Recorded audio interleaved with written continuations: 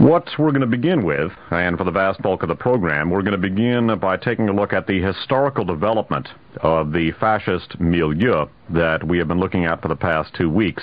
We have been looking at a milieu consisting of elements of the petroleum industry, in particular the petroleum engineering industry and independent oil operators, the intelligence community, the defense industry, the political superstructure of America, and last but most assuredly not least, the Third Reich residua imported into the United States under the auspices of the intelligence organization of Reinhard Gehlen.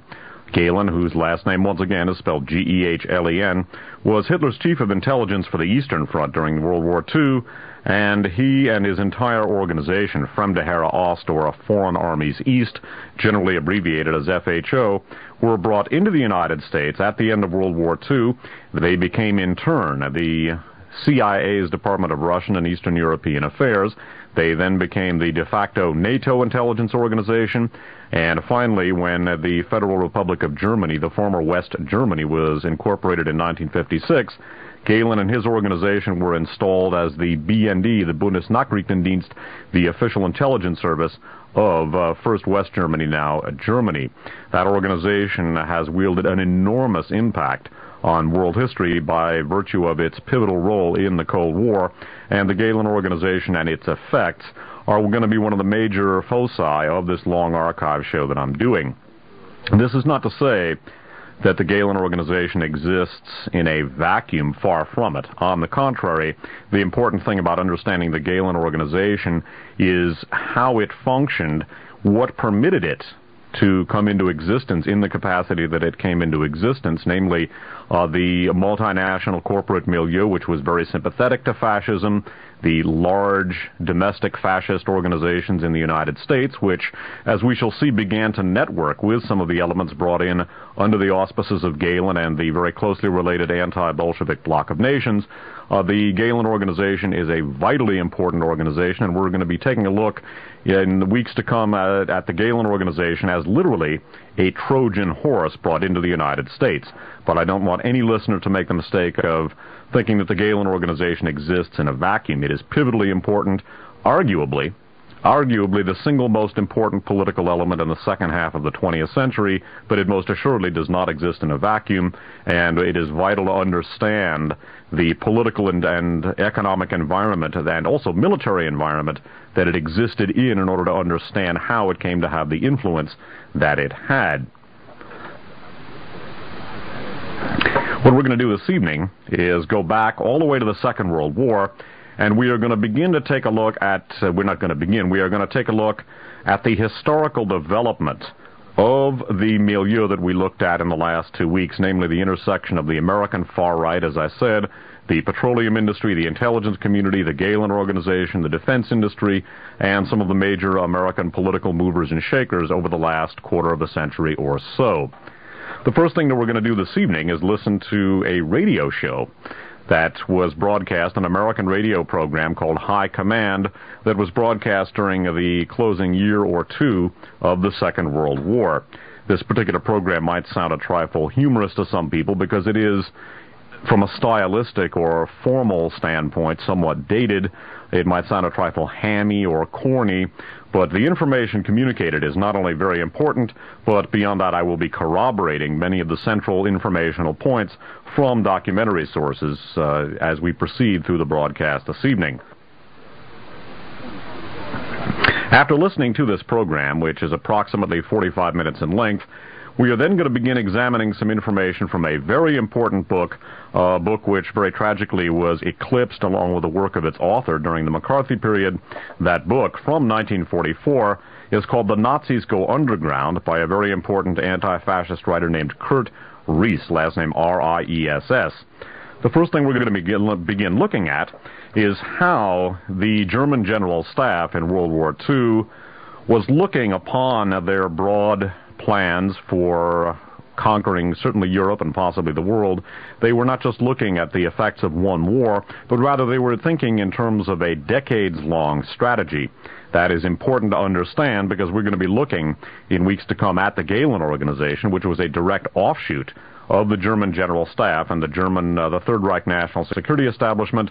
We're going to be taking a look at how it wielded the influence it did in the United States. But first, we're going to begin taking a look at how the German General Staff planned to gain certainly European, if not world domination, and it should be understood, and this is very important, that they did not intend to do it in one war.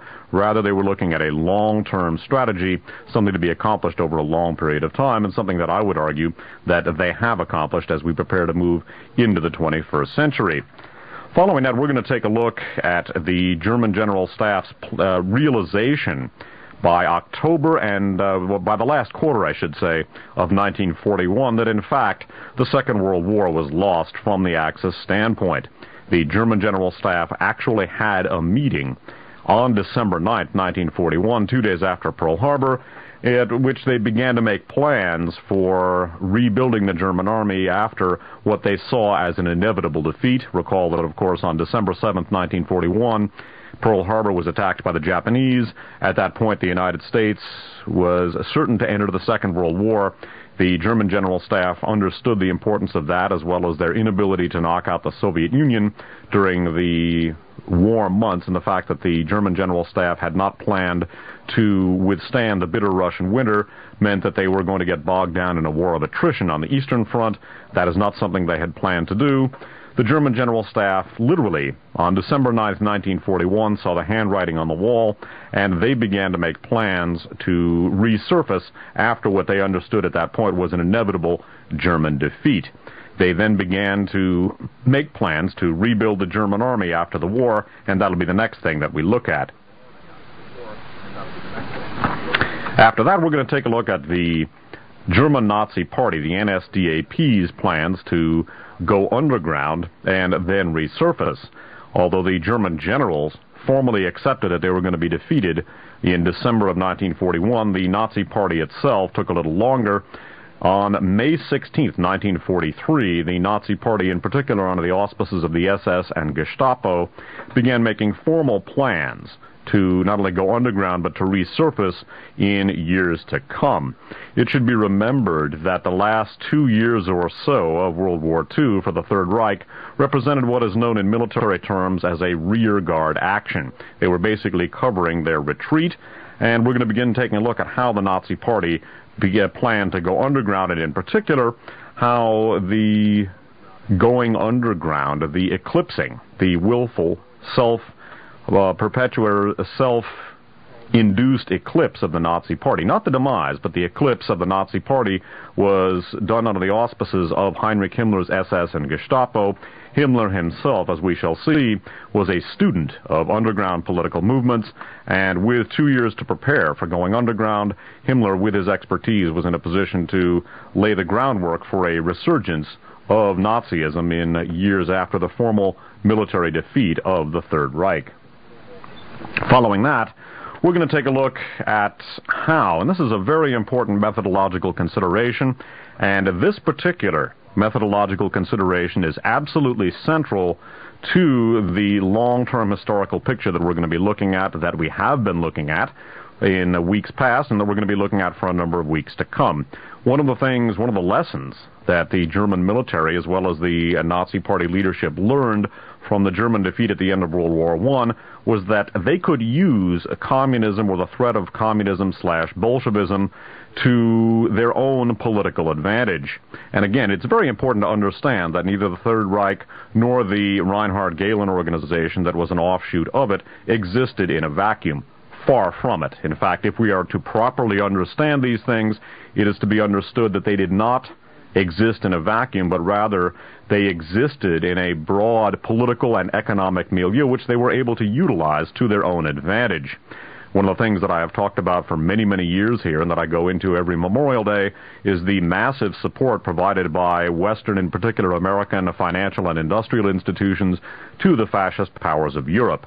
Those industrialists who greatly feared the economic and political consequences of socialism slash communism Bolshevism we're only too happy to collaborate with fascists, and it is that, that political reality that is central to an understanding of how the German General Staff and the Nazi Party were able to use the threat of communism or Bolshevism in a strategic manner. one of the things that we looked at in Radio Free America program number 10 was how the German army at the end of World War I was utilized to, or the supposedly demobilized German army at the end of World War I was utilized to combat the abortive socialist or Marxist revolution in Germany that took place on November 9th, 1918. The president of the Weimar Republic, the newly created Weimar Republic, Friedrich Ebert, set up three military organizations, the Freikorps or Freikorps, the Einwohnerwehren and the Zeitfreiwilligenverbände, in which the supposedly demobilized German army was reconstituted to fight communism.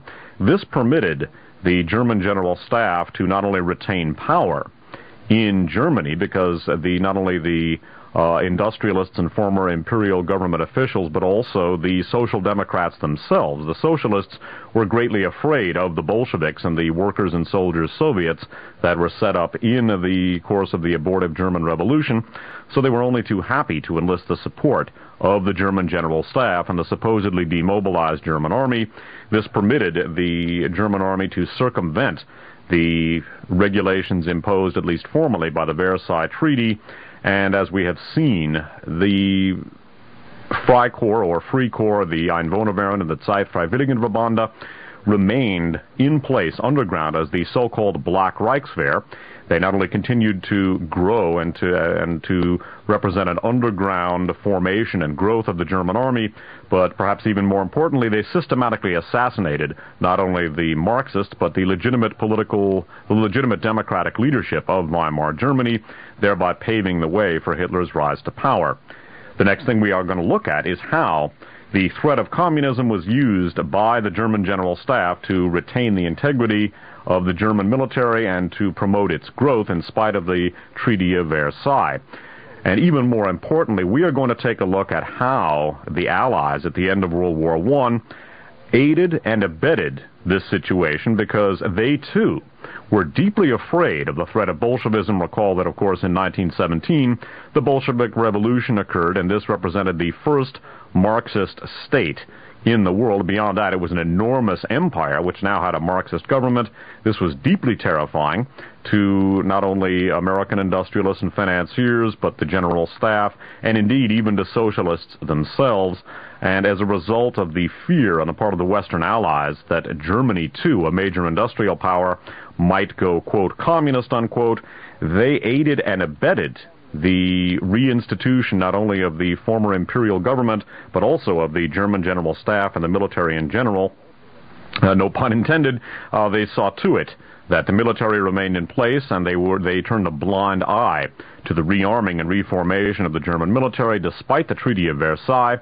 And this strategic consideration, the awareness on the part of the German General Staff, and later, as we will see, the Nazi Party, of how the fear of communism could be used to their own strategic and military advantage, that is central to the long-term understanding of the development of the forces that we are looking at in this massive archive show as we are looking at the formation, the historical and political evolution of the milieu that we've been looking at the last two weeks, in which the American far-right Third Reich residua, the petroleum industry, the U.S. intelligence community, the defense industry, and the mainstream American political structure are synthesized the awareness on the part of the Germans of this tactical consideration is absolutely central to the formation and development of this milieu, and that milieu is in control not only of the United States, but uh, the world at this time.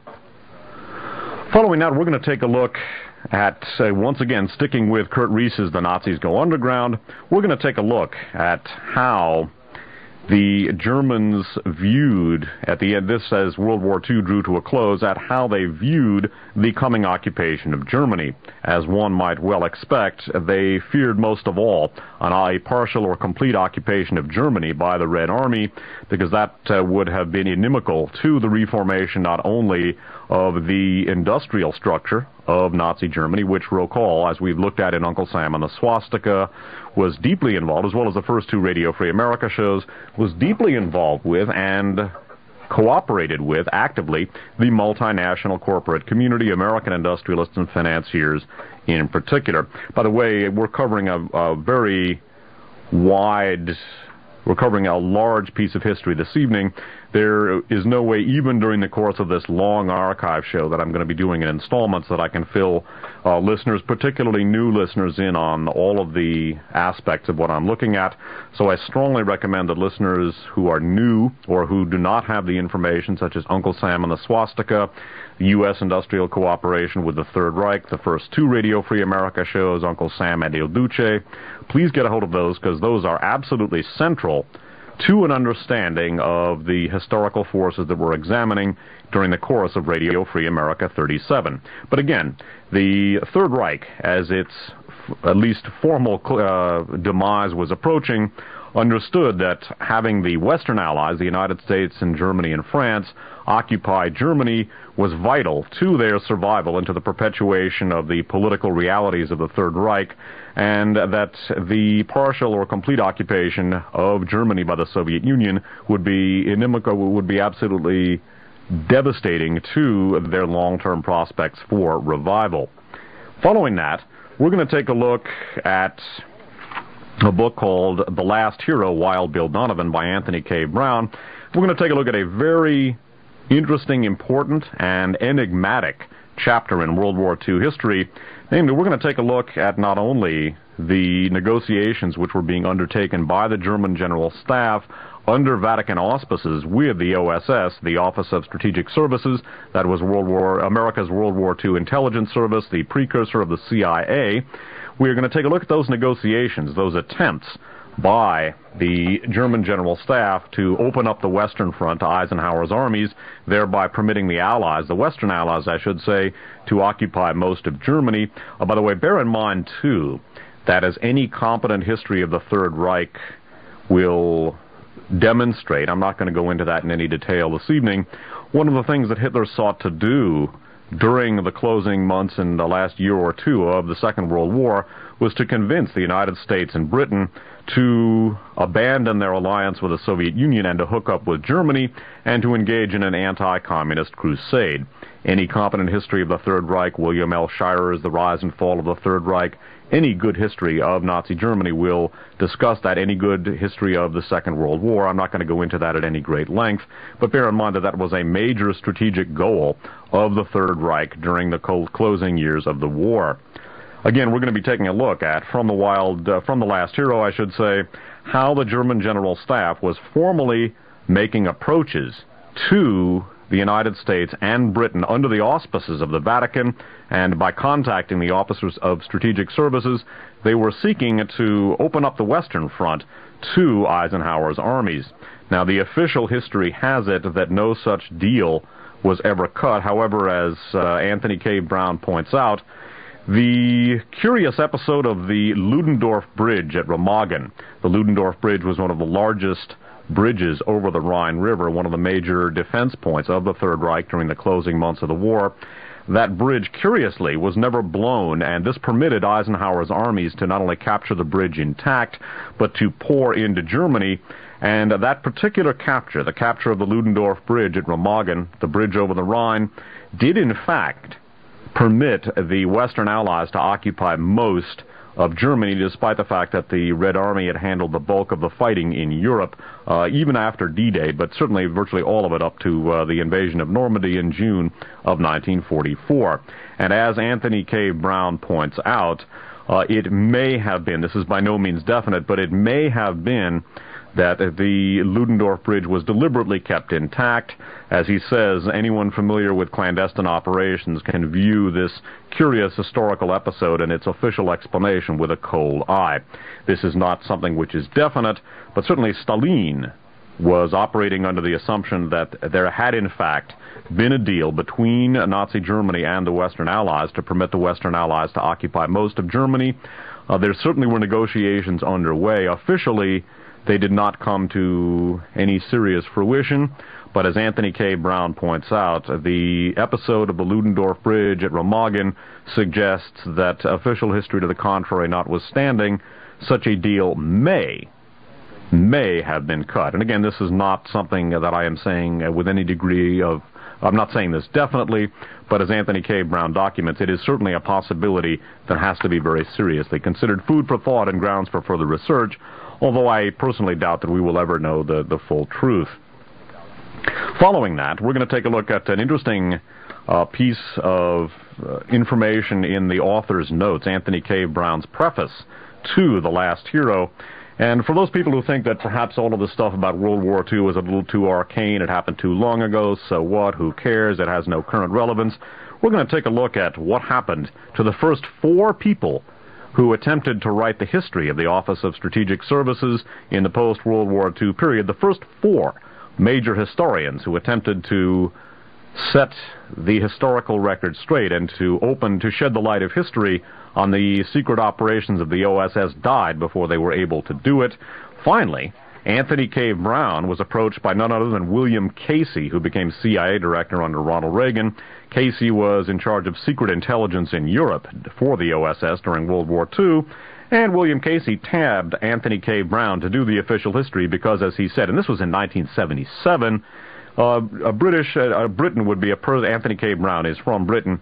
Said a Briton would be a British citizen would be a perfect person to do the history because the, he would be neither a Democrat nor Republican. This simply by way of underscoring the, even uh, it even more than 30 years after the formal end of World War II, the importance and the political sensitivity of the information from the period that I'm going into at this time.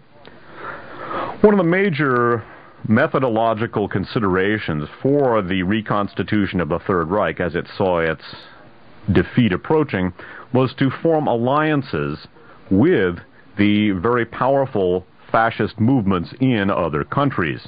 Again, in numerous archive shows, I have discussed the profound role of American industrialists and financiers, as well as other Western industrialists and financiers, in helping to not only arm Nazi Germany, but to support Hitler politically. It should be remembered that as we looked at in Radio Free America 10, among other programs, as well as the first two Radio Free America archive shows, these same industrialists and financiers helped to back very, very strong fascist movements in the United States, as well as other uh, Western countries. Other industrialists and financiers in France and Britain did the same thing. Many of these organizations were viewed as, quote, nationalist, unquote, but in fact they were fascist.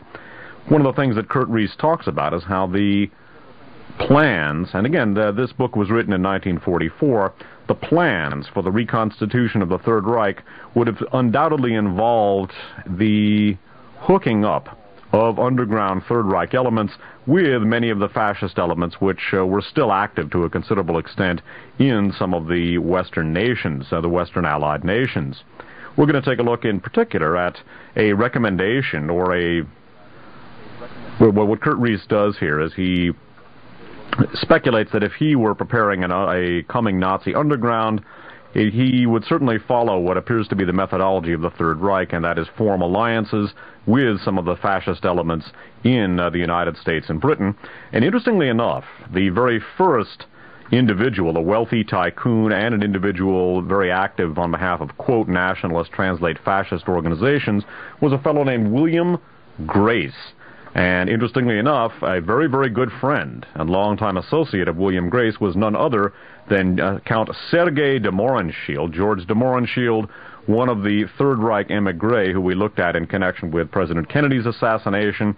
And it should be remembered that George de was uh, a buddy of George Bush's and apparently worked in conjunction with Bush, certainly in relation to their mutual interest in operations in the petroleum industry, and quite possibly in connection with their work for the U.S. intelligence system as well.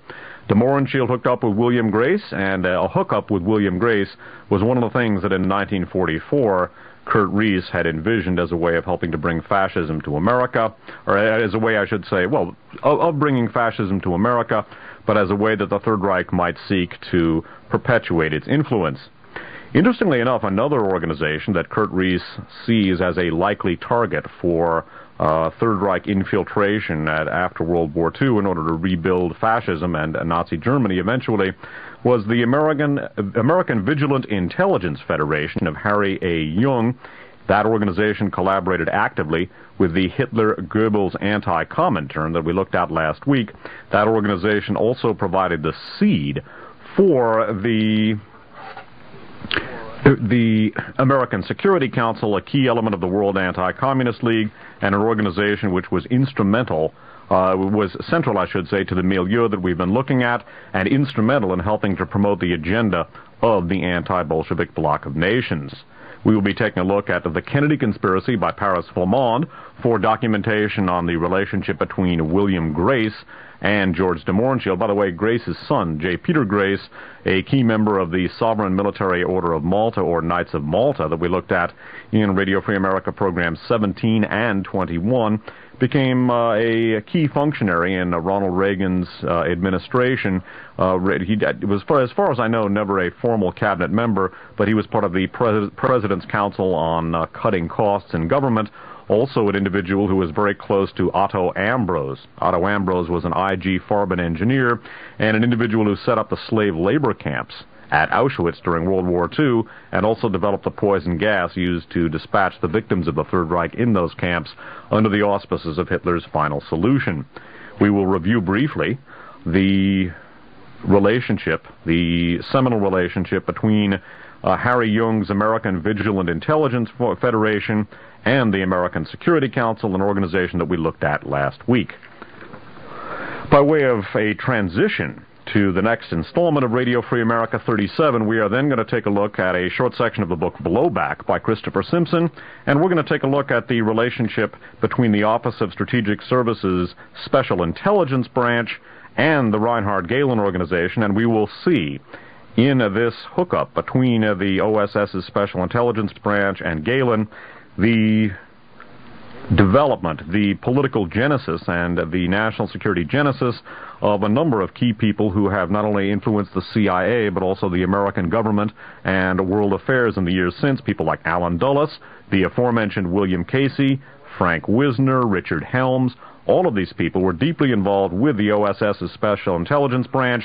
That, in turn, deeply involved with the organization of Reinhard Gehlen, and the Gehlen organization is one of the central elements in this long and developing archive show. We will be looking at that next week.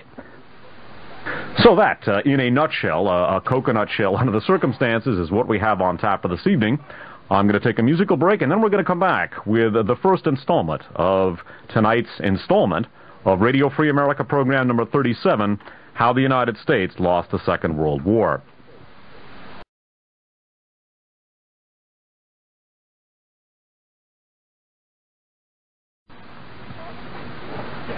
We're going to begin now with the first installment, or not the first installment, with the beginning of tonight's installment of what is going to be a very large and important Radio Free America program, namely Radio Free America program number 37, How the United States Lost the Second World War. Now, I want to emphasize that the title of this program, although it might sound preposterous or pretentious to some of you is in no way to be taken figuratively. When I say the United States lost the Second World War, I mean that absolutely literally. The Prussian military theoretician von Clausewitz had a very uh, had an oft-quoted observation that war is the continuation of politics by other means. You will also see that translated war is the continuation of policy by other means. What we're going to be taking a look at during the course of the next several programs is how politics represents the continuation of war by other means. The world's the multinational corporate community, and in studying the history of fascism, and in particular in examining how the U.S. came to the second, lose the Second World War, and I mean it literally, uh, it's important to understand that the multi that fascism is inextricably linked with the multinational corporate community. I've taken a look at that once again in the first two Radio Free America programs, Radio Free America program number 10, the Uncle Sam and the Swastika broadcast, Uncle Sam and Il Duce, and the miscellaneous archive show entitled Japanese Fascism, Its History and Significance for Contemporary Americans. All of those programs will document the inextricable link between multinational corporate capitalism and fascism. However, it should be understood, and I want to, I want to underscore very, very strongly this evening that that multinational community, that multinational corporate community, is by no means monolithic. The multinational corporate community, for our purposes here, and I think this is a valid analogy, could be compared with an organized crime syndicate. Even though organized crime organizations will cooperate with each other, at the same time, there is rivalry, and sometimes that rivalry actually takes a deadly form. During the Second World War, even though many of the world's industrialists and financiers had actually hooked up with each other in cartel arrangements, and even though many of them agreed about the importance of fascism and supported it, yet at the same time there were competing interests. Uh, in particular, the United States and Japan were competing for empire in the Western Pacific. This resulted ultimately in the attack on Pearl Harbor and America's entry into the Second World War. This ultimately led to the United States being an enemy, at least for a few years, of Nazi Germany. And so I want to underscore that uh, even though the multinational corporate community works together, there are active uh, there are there is, I should say, active cooperation between multinational corporations of various countries. At the same time, they have and do uh, they they have historically and do compete with each other. And uh, what we're going to be taking a look at during the course of this archive program, I guess you could say, is how the Berlin mob bested the Washington gang. And we're going to be taking a look at this evening at the development of the political milieu that we've been looking at in the past two weeks. That milieu, which was the milieu which executed a successful military coup in the United States on November 22, 1963, namely the assassination of President Kennedy. That milieu involved an intersection of the petroleum industry, the intelligence community, the Third Reich residua grouped around the Reinhard Gehlen Intelligence Organization and the interrelated anti-Bolshevik bloc of nations, the defense industry, the American far right, and the mainstream American political superstructure. Again, we've taken a look at that development or that milieu over the last two weeks. Bear in mind that George Bush was part and parcel to that milieu, whether or not he was involved in the assassination of President Kennedy, and there are indications that he may have been. He certainly appears to have helped to frustrate congressional investigations into aspects of the Kennedy assassination when he was director of Central Intelligence. He was certainly connected to George de Mohrenschildt and may have been involved in uh, the some of the, the same intelligence operations de Mohrenschildt was apparently involved with while operating under the auspices of the petroleum industry, and uh, George Bush may have been involved in the CIA's anti-Castro Cuban efforts in the early 60s. The CIA's anti-Castro Cuban milieu distinctly involved in the assassination of John Kennedy. Whether or not Bush was, as an article in uh, the current issue of Covert Action Information Bulletin theorizes, deeply involved with the CIA, with the petroleum industry, and with the CIA's anti-Castro Cuban efforts. Whether or not he was, he was certainly inextricably linked with the milieu, this fascist milieu that we've been looking at. And uh, it should be noted again, of course, that George Bush became director of Central Intelligence. He's currently president of the United States. And the geopolitical goals first set by the Third Reich and later uh, introduced into and adopted by the U.S. national security establishment, came to fruition vis-a-vis Eastern Europe and the Soviet Union, came to fruition on George Bush's watch. I personally do not think that is a coincidence. What we're going to be doing this evening, as I said, is taking a look. We're going to go all the way back to the Second World War to take a look at the development, the historical development of that milieu. We're going to be taking a look at how that milieu came into existence because that is the milieu which, as I said, effected a successful military coup in 1963. It is the milieu which dominates the United States to this day. We're going to begin the program this evening by listening to a radio program, uh, an American radio show from the closing months of World War II. And it should be noted again that this particular radio program might sound kind of dated to many of the listeners. Obviously, this is 1940s radio.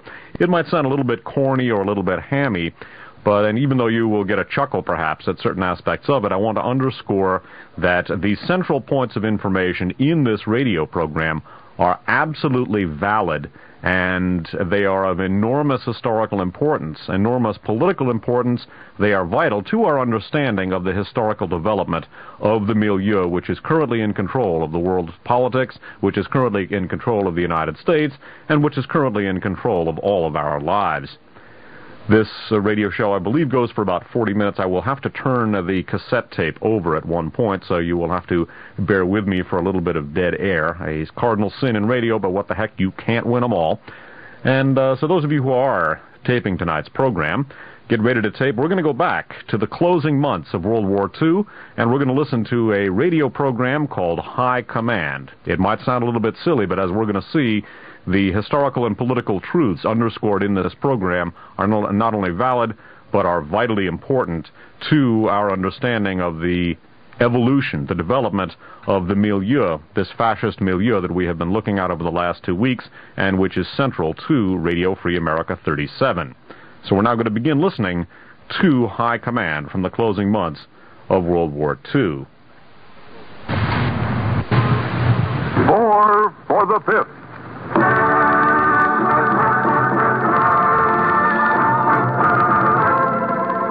Four radio programs for the Fifth War Loan produced by Arch Oboler and William N. Robson for the United States Treasury.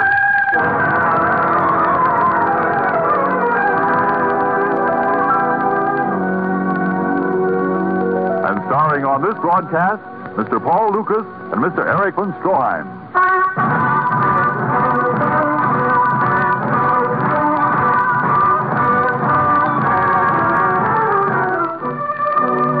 This is a war not only of men and machines, but of ideas. As the second of this special series of broadcasts about the ideas for which we fight and those which we fight against, we present High Command, a radio document written and directed by William N. Robson and starring Mr. Paul Lukas and Mr. Erich von Stroheim.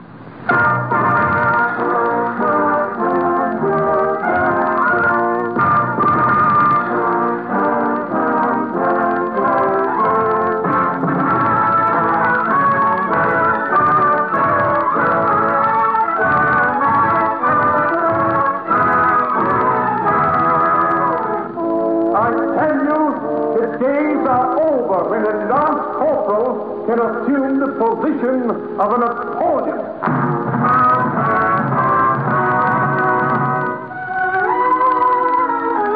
lance corporal is the house painter, the little man who chews rugs, the jerk with the toothbrush mustache and the delusions of grandeur, that character with the comedy name Schickelgruber, at whom we so often poked fun in those days when we were whistling to keep up our courage.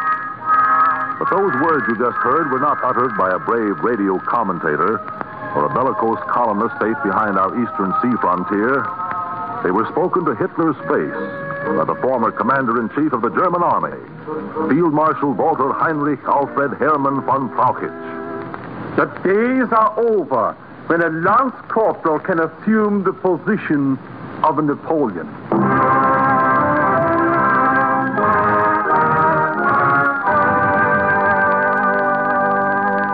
Hand of yesterday draws the picture of tomorrow. We'll examine that hand. We'll read that palm. But first, let's look at the picture. The scene is Berchtesgaden. You know Berchtesgaden, where der Fuhrer consults his intuitions and issues his orders. The time is not far in the future. Next week, next month, certainly we hope by the end of this year. The characters, Field Marshal von Rundstedt, Field Marshal von Bock, and Herr von Brauchitsch, mein Führer. Von Brauchitsch. I dismissed him two years ago. Nevertheless, he is here with the others. Send them away. Uh, that will be impossible, Adolf. Why? They are not unaccompanied. What do you mean? A battalion of the Reichswehr with them. Where are my elite guards? They have been relieved for the time being. Treason! They dare to threaten me? Uh, they say it is a protective measure. Uh, you have used the word many times, Führer. Don't they remember how von Fritsch died in Poland? Doesn't von Brauchitsch remember what I did to him? Don't they know that with a single command I can have them all... Uh, their men surround the villa. Show them in.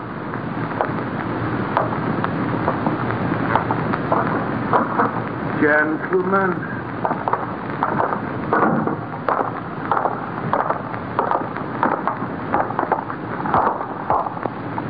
What is the meaning of this? We represent the High Command. The High Command? You? Where are my loyal generals? Where's Milch? Where's Rommel? Trying to stop Eisenhower at the Rhine. Where's Keitel? Probably running away from the Russians in Poland. And Kesselring can't hold the Brenner Pass for another 48 hours. Sign this. What is it? Your resignation. Or if you prefer, your abdication. Traitors! Ragtag and bobtail of an outworn caste system. Worthless clowns! My intuitions. Why didn't I listen to my intuitions? The same intuitions that made you attack Russia against our advice? And sent a half million men to their death at Stalingrad? Oh, ungrateful. Monstrous. When the German people hear of this, The German people will take orders from the man who carries the gun. history has never witnessed such perfidy. Uh, Hitler, your knowledge of history is as inadequate as your intuition in military matters. In 1918, General Ludendorff was compelled to make the same demand of the Kaiser and for the same reason. United Nations will not make peace with you or the Nazi Party. Both must be liquidated at once. In the High Command we'll be free to negotiate peace, which will leave our army intact and the Reich uninvaded, just as we did in 1918. We have lost nothing that we had when we started. And we will be strong enough to attack again in 25 years. But we can do nothing as long as you remain as Reichsführer. Hermann, my faithful friend, my old comrade, what shall I do? What else can you do, Adolf? Very well. When the Deutsches Reich calls, I, its humblest soldier, am willing to sacrifice everything. There is the theatrics, Herr Hitler. You're fortunate to escape with your life. Well, that's the silliest thing I ever heard in my life. John, don't you think that was silly? Yeah, these radio plays. Propaganda. Huh. Another war in 25 years. Well, when we get through with the Germans this time, there won't be nothing left of them. Well, we're going to march right down the Unter den Linden and hang Hitler to the nearest lamppost, if any of them are still standing. Why, we're... Pardon me, please. Huh? Is this 1944 or 1918? Huh? I remember the same brave American words in 1918. Only it was the Kaiser you were going to hang. And I believe he was to be suspended from a sour apple tree. Who are you? I am a German. And you, I believe, are John Manstreet, American. And, pardon me, Mrs. Manstreet. Oh. Yeah, how'd you know? We have a file on you and Mrs. Manstreet at the Ausland Institute in Stuttgart. The typical American and his wife interest us very much. Very much. Who are you? Just a German. You might say your opposite number. You could call me Herr Mannstrasse. Are you a Nazi? I am a good German. Well, does that mean you're a Nazi? Of course. Then I don't want to have anything to do with you. Come on, Murray, let's get as far away from this guy. now, isn't that a typical American attitude? Hide your head in the sand. Walk away from the unpleasant. We Germans are different. What we like least, we learn the most about, so that we can defeat and conquer it. For instance. The United States of America, for instance. Are you kidding? Listen, we beat the pants off you Heinies in 1918, and we're doing the same thing right now. It gives me a great joy to hear you say that. Why? Because as long as you and your fellow citizens act and think as you did in 1918, we will win the war. What? Nonsense. Just as we did in 1918. Hey, now wait a minute. Let me get this straight. You won the war in 1918? Certainly. Brother, I've been reading the wrong history books. That's wholly possible. They concern themselves more with names and dates than with economics. Economics? Well, we made you pay for that war. And you got in such a bad financial jam, we had to send our own experts over to straighten you out. Yes, that's your side of the story. and don't forget the wave of Christian compassion that swept your country for poor, defeated Germany. You are such naive Dummkopf. Listen to the way Germany handles money. Listen to how your dollar diplomacy failed to work. Germany must pay for the war. Germany must pay to the last penny. Germany must pay to the last sou. But how much? 40 billion. 75 billion. 120 billion. How much? That was the question. How much for the leveled villages of France? How much for the hulls of British ships rusting on the bottom of the sea? How much is a dead Belgian baby worth?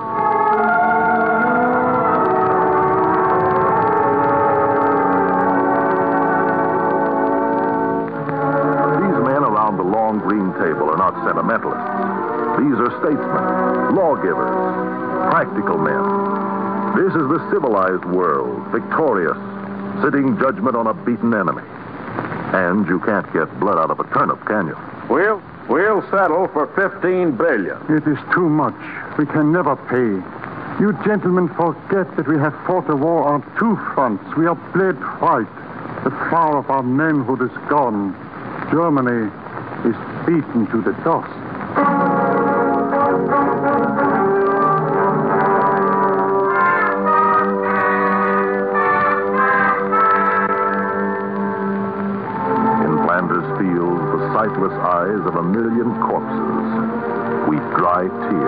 Poor Germany. And the poppies bow in a breeze that whispers, scrap of paper, scrap of paper.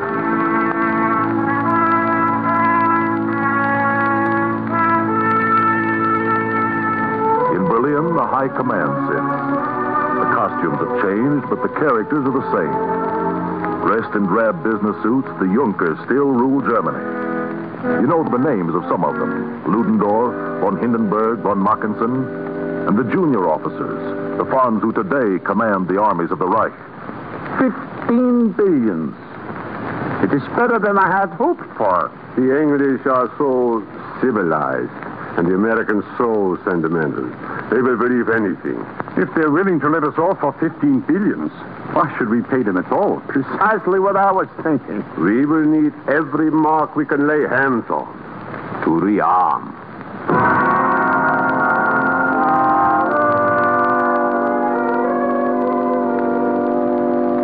Incredible story.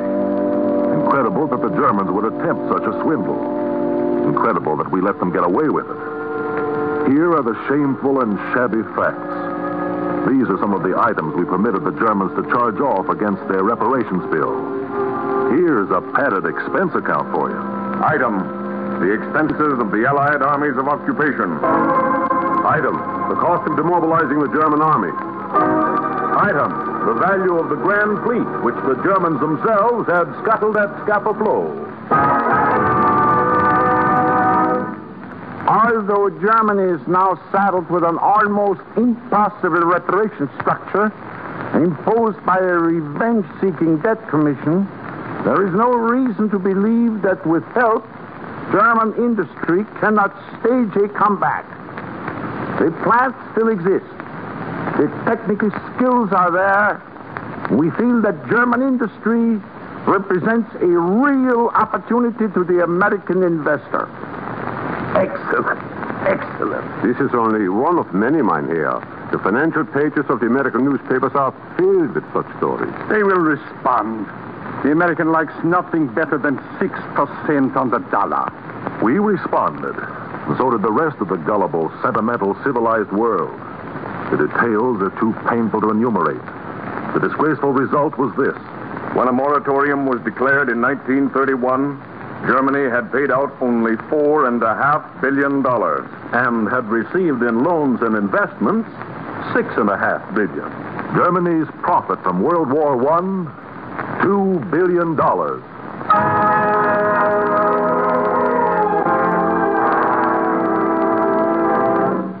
So, you see, we really won the war. But it's unbelievable. It is true, though. That double crossing Hitler? Ah, Mr. Mansfield, you do the Fuhrer an injustice. We managed to solve the reparations problem before he came into power. You see, we managed to convince you that the only way your investments could be saved was by canceling reparations. And you persuaded England and France to declare the moratorium. we are grateful to you for that. And for your gift of several billion dollars. What do you mean? The American investments in Germany. Naturally, as soon as he came into power, the Fuhrer canceled them. What? oh, yes. We built quite a few submarines and planes and tanks with your money.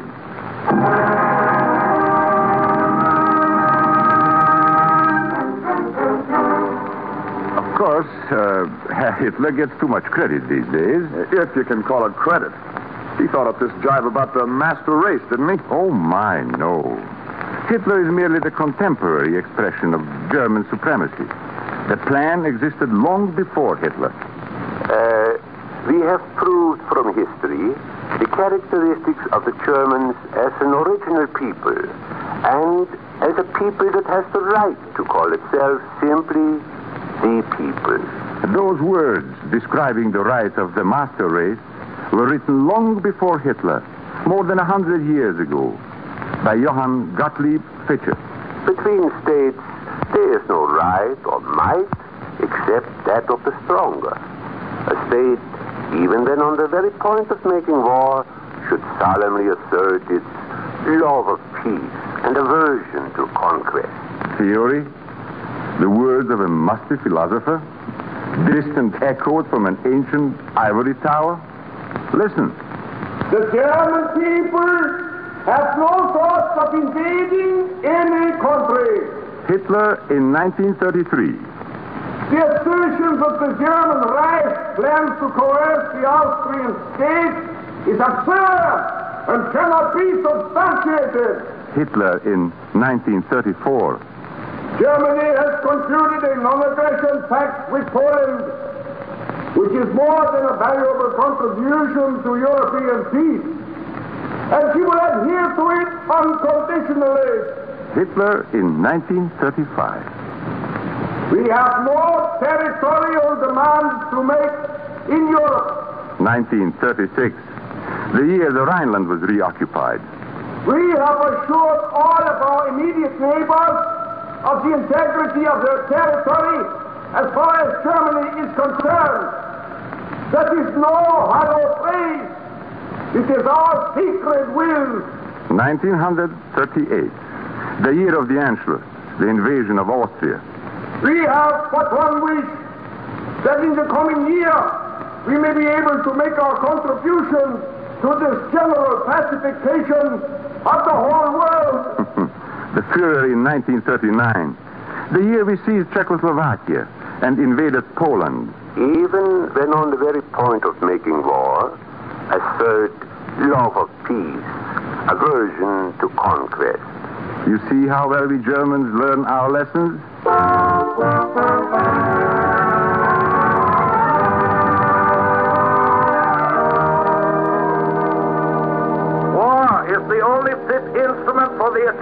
A political policy. Who's shooting off his face now? General von Clausewitz. More than a hundred years ago, he foresaw total war. Violence arms itself with the inventions of art and science. He foresaw blitzkrieg. An attack directed to the destruction of the enemy which has not the boldness to shoot like the point of an arrow directed at the heart of the enemy's power can never hit the mark. This we have proved in Poland, Norway, Holland, France, and Belgium. Yeah, how about Russia? A mistake of the Fuhrer, not of the High Command. And England? An island of little importance. Clausewitz teaches us to strike at the heart of the enemy's power. We know now that means Detroit, Pittsburgh, Dallas, Baltimore. Oh, yes. You will become the slaves of the master race. If not in this war, then in the next. Oh, but we're fighting this war, so there won't be any more wars. Precisely the reason why you fought the last one. and while you piddle in such democratic and utopian dreams, while you mouth your puking Four Freedoms, we live by stern realities. Here is truth. Here are the words of Heinrich von Treitschke. War is just and moral, and the ideal of eternal peace is both unjust and immoral and impossible. God will see to it that war shall return again. Every sovereign state has the unquestionable right to declare war when it so desires, and therefore it is possible for every state to cancel its treaty. If that's your racket, I don't see why nations go on doing business with you. Why don't they get wise? Why? Well, my American friend, one of your countrymen explained it very simple. P.T. Barnum, I believe his name was, a regisseur of some note. Remember? There is a sucker born every minute. Oh, yeah? Well, another American said, you can fool all of the people some of the time, and you can fool some of the people all the time. But you can't fool all the people all the time. I wonder, Mr. Manstreet. I wonder. Our Fuhrer has always insisted on telling big lies. He believes that the bigger the lie, the more people will believe at least some of it. It is a very efficient system. Look how well it works in your country. What do you mean? The lies you believe about your Jews and Negroes and Mexicans and Catholics, all your minorities. We've helped to plan those lies. And after this war is over, we will see to it that your tensions, your hatreds, and prejudice are kept alive. It will make you so much softer when we attack you again. Why are you telling us all this? Because you won't believe it. Listen, chum, there isn't going to be any next time. You've had two tries at this world domination racket, and when we get through with you this time, you'll be through. Ah, but you have a saying, the third time is the charm. There isn't going to be any third time, I tell you. Those are brave words now. But do you, you soft-hearted and sentimental Americans, know what your invasion will cost? Will you be able to bear page after page of your newspapers filled with the list of your dead? Do you think your sentimentalists will be silent then? Even now, your country is divided. Your East Coast is at war with us, but your West Coast thinks only of the war with Japan. And in between, isn't it true that your people in the Middle West are sick and tired of the war? you've gone without gasoline and rubber tires, and you've scrimped on shoes and liquor, and all of you are pretty fed up, aren't you? You are grumbling, and we know. We helped to start the grumbles. And now you are trying to attack us on our own ground. you are trying to invade, and you are going to lose hundreds of thousands of your finest young men. For what? You are going to ask yourself. Peace now, your brown-tongued orators will bellow. No foreign entanglement. Get the boys home by Christmas. What's left of them, your mothers will plead. We know you Americans. Germany is counting on you.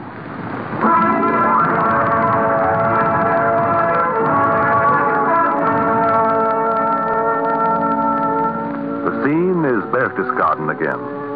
The time is in a not too distant future.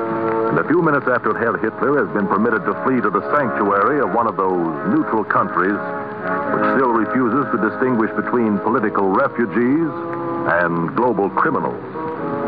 The characters, the high command, the same old gang. Their grandfathers unified Germany and crowned Wilhelm I emperor in Versailles in 1871. Their fathers made the deal at Compiègne in 1918. And as their fathers did then, they have just fired their front man. The German High Command, which has ruled Germany for nearly a century, carries on. Well, gentlemen, now we can get down to business. Uh, what are your feelings about peace terms? The policy we followed in 1919 will do admirably now. Object to everything, cry poverty, and play upon world sympathy. We are in a much better position now than we were then. The machinery, the art treasures. Now we have the loot of all Europe. Of course, you realize they will push us back to our old borders. We will probably even lose Austria for the time being. That's all right. What good is France or Poland or Norway to anyone now? Uh, what are the latest figures on Poland, von Bock? Oh, I've lost count, General. We must certainly have annihilated at least three million Poles and Jews, and a great percentage of the young women have been sterilized. There's not much danger of Poland breeding a generation of fighting men in the next 25 years. How about France, uh, von Rundstedt? Well, you know Hitler has had a million and a half Frenchmen in prison camps and labor battalions since 1940. They're worthless as fathers now. And in France itself, we've managed to increase the death rate over the birth rate. The children that are still alive are quite worthless. Starvation is so much more effective than machine guns, especially with the young. We agreed before this war began that our great mistake in 1918 was to spare the civilians of enemy countries. We agreed that it would be necessary to destroy at least a third of the inhabitants of occupied territories. I believe I can safely say that this has been done. There's no doubt about it. Good, good. Now, here within the Reich, I think it will be advisable to continue with the sex freedom introduced by Herr Hitler. We must breed a sufficient number of strong young men so that in 25 years we will be in a position to resume our campaign for world domination. We'll have to go carefully with that. We'll need the sanction of the church for the next few years. Don't worry. There are ways. Nudism and strength through joy were very successful before. You can always describe license as freedom and modernism. I don't think that it's too early to review the mistakes we made this time and to face the hard facts of our present position. The United States is now the greatest sea power in the world. Yet even the British Navy alone kept us from invading England. We must build a great navy this time. You think they will let us? They forbade us to rearm before. But we found a way then. We will find a way now. But there is one mistake we must not make again. What is that, General? That was the fundamental error we made this time. We should have realized from the first that the United States would be the heart of Anglo-Saxon power. Then the United States must be defeated the next time. Certainly. The unpleasant truth is, gentlemen, no nation can hope for world domination unless it controls the vast resources of the United States. Agreed. Our strategy must be directed toward America. And doubly intensified. We must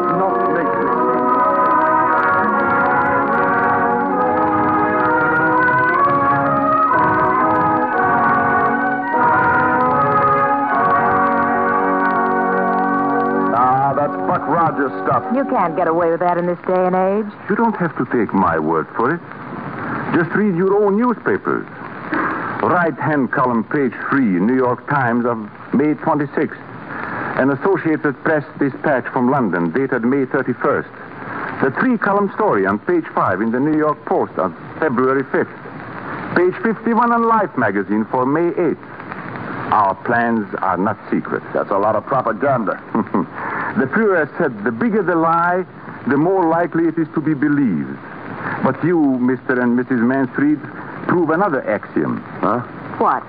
The bigger the unpleasant truth, the less likely it is to be believed in America.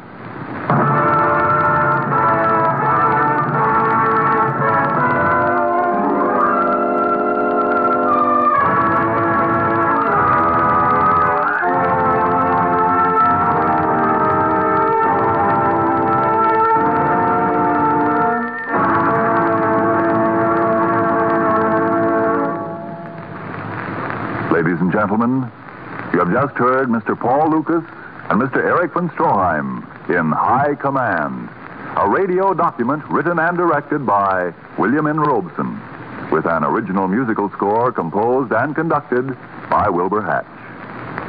And now, a word from Mr. Paul Lukas. Ladies and gentlemen, the words and sentiments which I expressed in the part I have just played are as loathsome to me, a naturalized American citizen, as I know they are to you who are native born. But these words had to be said. These ideas had to be exposed.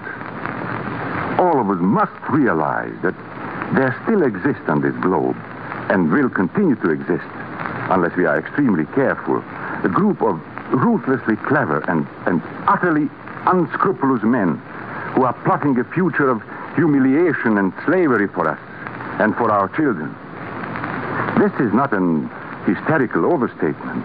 We are not viewing with undue alarm. What you have heard is sober fact, authenticated and documented many times over. Now, this cancer must be eliminated. This virus must be killed. This war must be prosecuted until it ends in the unconditional surrender of the German people, the Nazi Party, and the dangerous murderers who control them both, the German High Command. Now, your part in this campaign for the extinction of evil is simple and clear. Back the attack by more than before.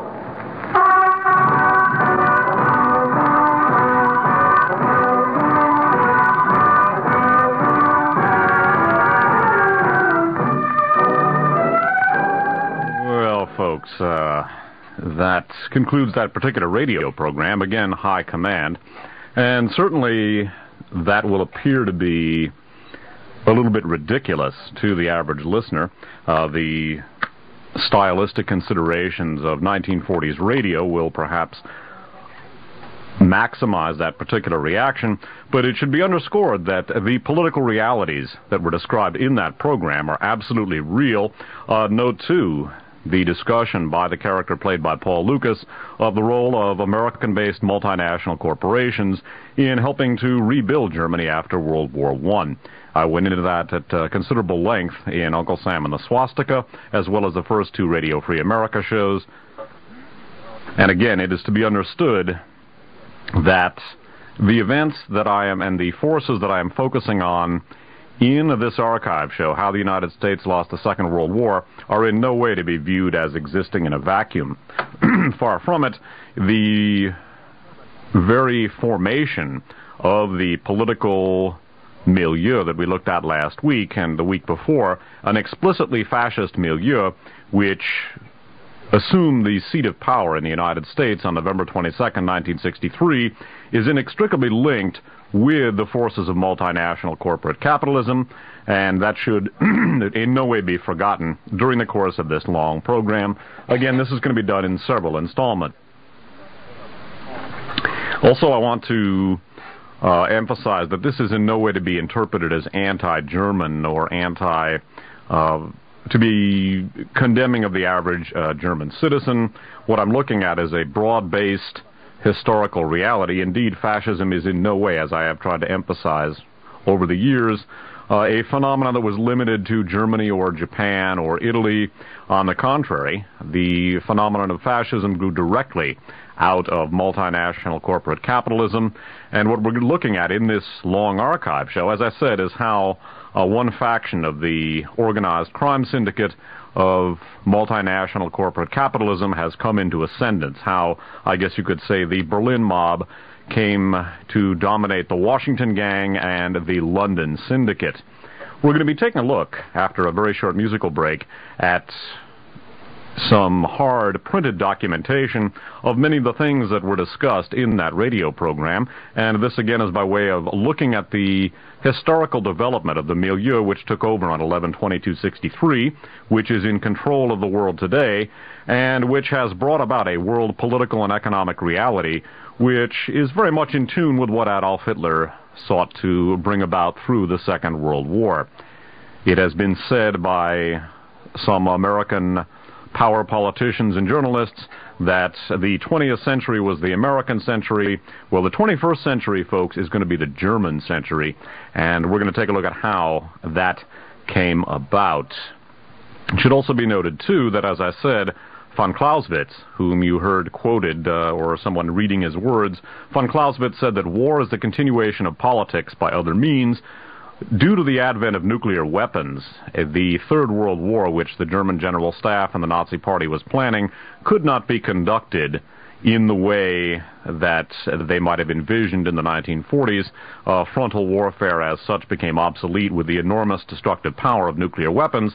But what we are going to be looking at is a transmutation of von Clausewitz's principle. We're going to be taking a look at politics as the continuation of war by other means. And next week and in weeks after that, we're going to take a look at the Gehlen organization, how it literally literally represented a Trojan horse in the United States and how it was able to affect American policy in such a way as to bring about a world political reality, a new world order, as Citizen Bush has put it, which is far more, far more conducive to German interests than to American. And again, I want to emphasize that among the realities which are bearing down upon us at the moment is the coming of fascism to America. The assassination of President Kennedy, as we shall see, in an historical sense, represented three major developments. It represented the resolution of a constitutional struggle between the military and the executive branch. The American military had never liked the idea of having a civilian commander in chief. It represented the triumph of rollback or liberation theory of fighting the Cold War as opposed to containment theory, and it represented the ascendance of fascism in America. After a musical break, we're going to go back and we're going to take a look at just exactly how the forces which assumed power on 11-22-63 developed. Music and then more of tonight's program.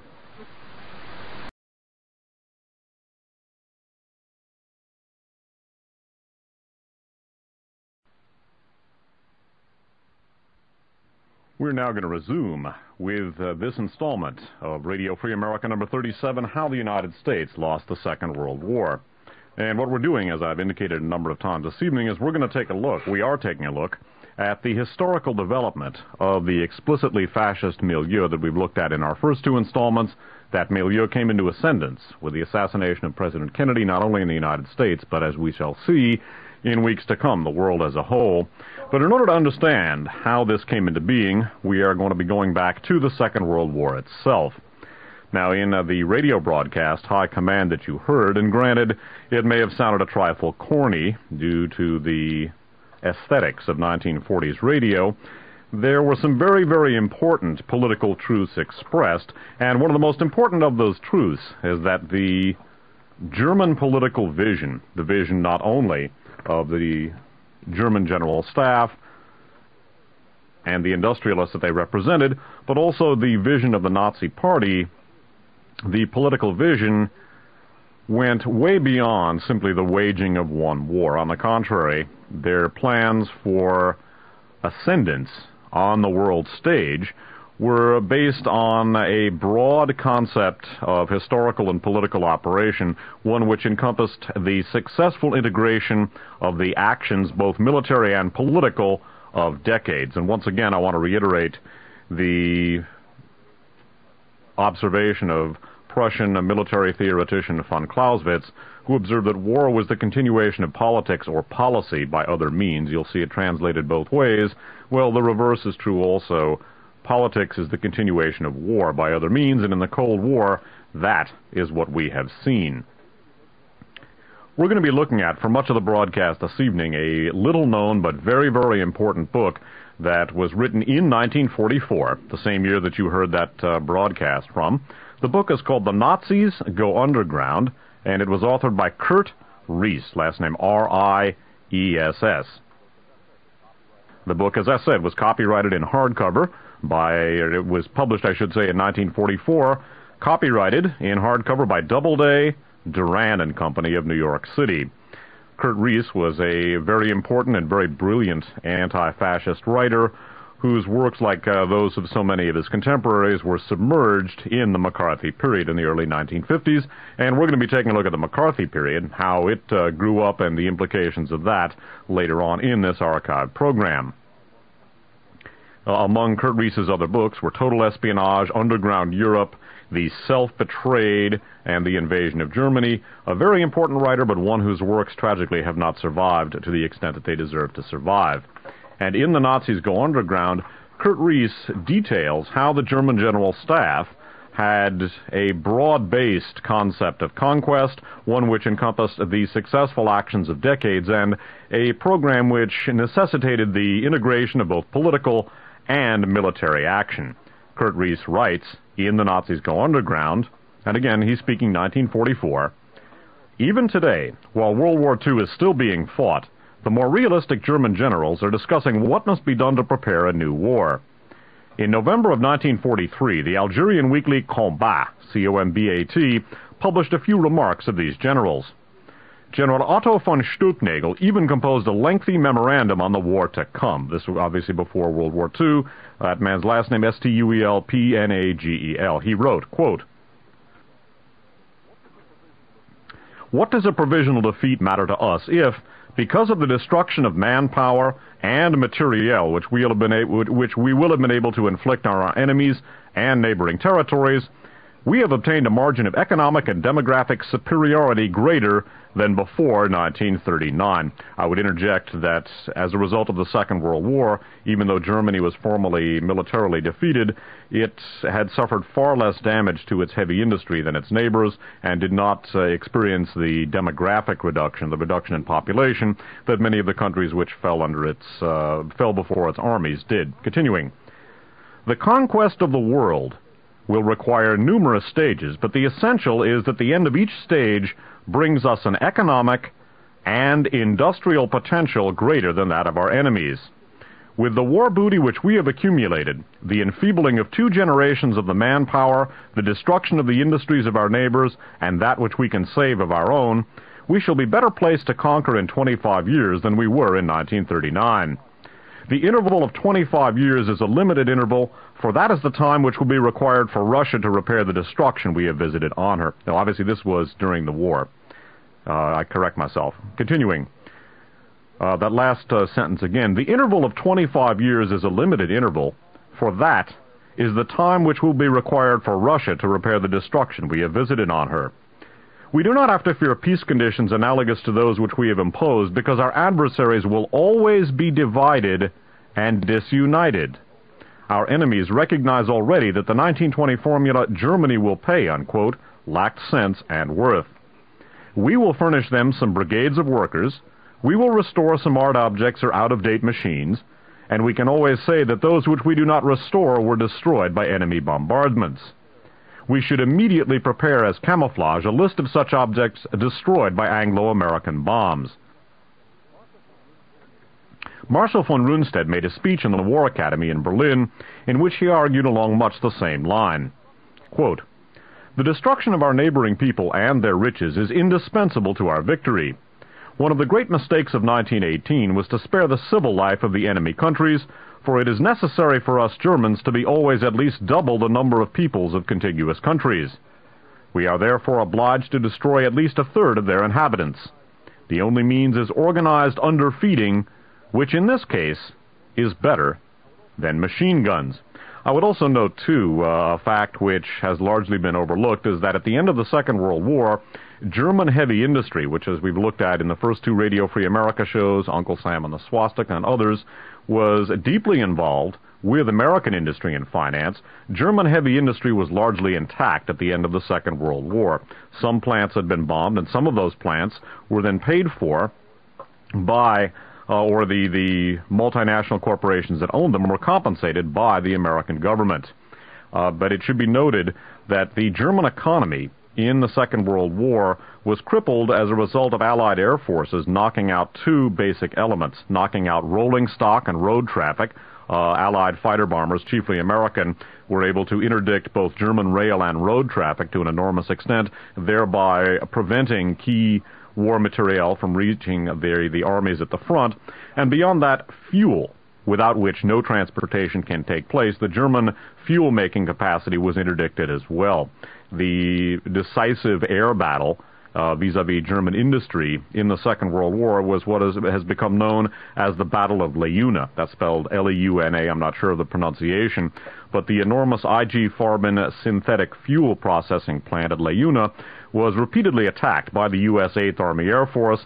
Even though the Germans themselves were able to keep the plant in operation, the damage was so extensive that in order to keep the, this, this vital uh, fuel synthesizing facility open, the Germans had to cannibalize so many of their other gasoline synthesizing plants that, or oil synthesizing plants, that their capacity to synthesize oil uh, became simply inadequate for their war needs. I would note that, uh, as I documented in Uncle Sam and the Swastika, the hydrogenation process by which Germany was able to synthesize oil from coal was developed by the Germans, and uh, the Standard IG Agreement of 1929 provided them with the capital to compensate them for that particular production. It also guaranteed that the Germans would be able to use the hydrogenation process to manufacture fuel in Germany only, thereby protecting Standard Oil of New Jersey's worldwide operations from the potential commercial threat of synthesized oil. Uh, it should also be noted again that IG Farben acquired 2% of Standard of New Jersey's stock, thereby becoming the second largest holder in Standard Oil of New Jersey, behind the Rockefeller family. IG Farben, of course, the massive German uh, chemical and fuel cartel of the Second World War, the backbone of Nazi war production. But again, it should be noted that German heavy industry was largely intact at the end of the war. Some plants were destroyed, but the German economy, the German war economy, was brought to a halt by interdicting the capacity to transport manufactured goods to the armies at the front. Again, rail and road traffic were interdicted by Allied fighter bombers, and their fuel-making capacity was neutralized by strategic bombardment, the Battle of Leuna being the key element in that particular campaign.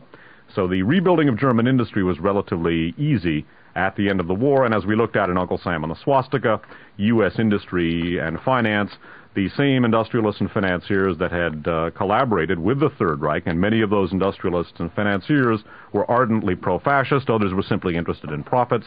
They saw to it that at the same industrial and financial concerns which backed Hitler were put back in power at the end of World War II. Next, when uh, we're going to stick with The Nazis Go Underground by Kurt Riess, what we're going to look at now is how the German General Staff began planning for defeat. They had seen their military defeat coming in October of 1941, and they formally met to begin making plans for that defeat on December 9, 1941, two days after the Japanese attack on Pearl Harbor. Now, it should be noted in this regard that the German General Staff's plans to defeat the Soviet Union called for a blitzkrieg. It called for lightning war. The Germans had no capacity to winter, or had not envisioned that they would have to winter inside of the Soviet Union. They, that is, the German armies expected, uh, they met unexpected resistance. They were not able to keep to their timetable. By October 15th of 1941, the Germans realized that they may very well lose the war, and by December 9th of 1941, with Japan having attacked the United States and with the United States uh, inevitably going to enter the war against Germany, the German generals realized that they were going to lose World War II. At this point, the Red Army had begun a counteroffensive before Moscow against the German armies, and beyond that, from a strategic standpoint, the Germans stood to fight China, which was on the Allied side, the most populous nation in the world, the Soviet Union, which was the second was actually the the second most populous independent nation of the world and a major manufacturing power. India, it should be noted, now an independent country and the second most populous nation on earth, was part of the British Empire, which obviously was also fighting the Axis powers. The Soviet Union, obviously, was fighting against the Axis, and on December 7, 1941, the United States the third most populous independent country in the world and an enormous manufacturing power, uh, came into the war, or its, its entry into the war on the side of the Allies was made inevitable. So the Germans in uh, December of 1941 saw themselves fighting the combined population and manufacturing capacity of the British Empire, including India, they, the Axis powers, had to fight China, the most populous nation on earth, the Soviet Union, the second most populous independent nation, and a major manufacturing power, and the United States, the third most populous nation and an enormous manufacturing power. The Germans realized that they were going to lose, and it's worth noting that by December, again, of 1941, the German generals were beginning to plan for a temporary defeat, but to reconstitute for the broad-based conquest which was outlined in the speeches or in the statements of Generals von Stumpfnagel and von Rundstedt, which I outlined above, or which I read above. Now, we're going to take a look at General Werner von Brauchitsch, uh, the general whom you heard dramatized in that particular radio show. That's the von Brauchitsch which we see here. By the way, that's uh, B- his, his last name, B-R-A-U-C-H-I-T-S-C-H. Kurt Riess writes, Von Brauchitsch was not a general of great vision, but he was a man who could judge a military situation when he saw one and he could retain his judgment even in the face of the impressive advances the German army had made in Russia during the first four months. He had a good memory. He remembered the spectacular advances of General von Kluck's First Army in August of 1914. That's K-L-U-C-K. The young Brauchitsch had been a liaison officer in that army. He remembered in what an unbelievably short time the Germans had rushed to the Marne and the Ourcq. That's M-A-R-N-E and capital O-U-R-C-Q. And then came the defeat at the Marne, and the war was lost, although it took four more years to establish this accomplished fact. Brauchitsch could not be deceived by impressive partial successes. He knew that the timetable for the conquest of the Soviet Union had not been kept, that the Russian army had by no means been crushed, that it had by no means been prevented from deploying. All of which meant that the war would not be over before the Russian winter would set in. And Brauchitsch knew that the German army was not equipped to spend a Russian winter fighting. Therefore, Brauchitsch was in favor of a retreat. On October 15th, now this is 1941, he had called a meeting of his outstanding generals to talk things over. However, the meeting did not develop according to his expectations. Hitler dropped in unexpectedly. The generals all agreed with von Brauchitsch. They were unanimous in their belief that the offensive should be discontinued in the face of the ever-increasing strength of the Russian army and the approaching winter. Field Marshal von Bock, B-O-C-K, even proposed a withdrawal of some 200 miles. Hitler objected violently. He had no intention of going back. He had every intention of going on with the war and of attacking a handful of other countries in the near future. He did not want to lose his newly acquired prestige as a military genius. A heated discussion ensued, and harsh words were exchanged between some of the generals, particularly Herr von Bock and Hitler's private advisers whom he had brought along but nothing definite was decided upon. Six weeks later, Brauchitsch knew that he had been right. The Russian army had begun its first counteroffensive. The winter in Russia was now a dead certainty. On top of it all, on December 7th, Japan had declared war on the United States, and it was only a question of days, perhaps hours, till Germany and America would be at war too. Such was the situation when Brauchitsch met his generals once more on December 9th, 1941.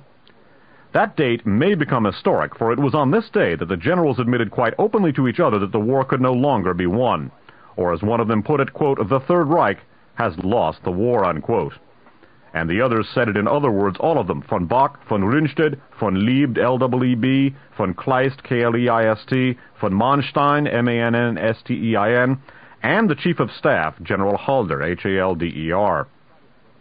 It was then that Brauchitsch decided to resign as Commander-in-Chief and that the others decided to and, and the other and that the others decided to decline to take over his job and with it the responsibility for the war if the Fuhrer should offer it to them.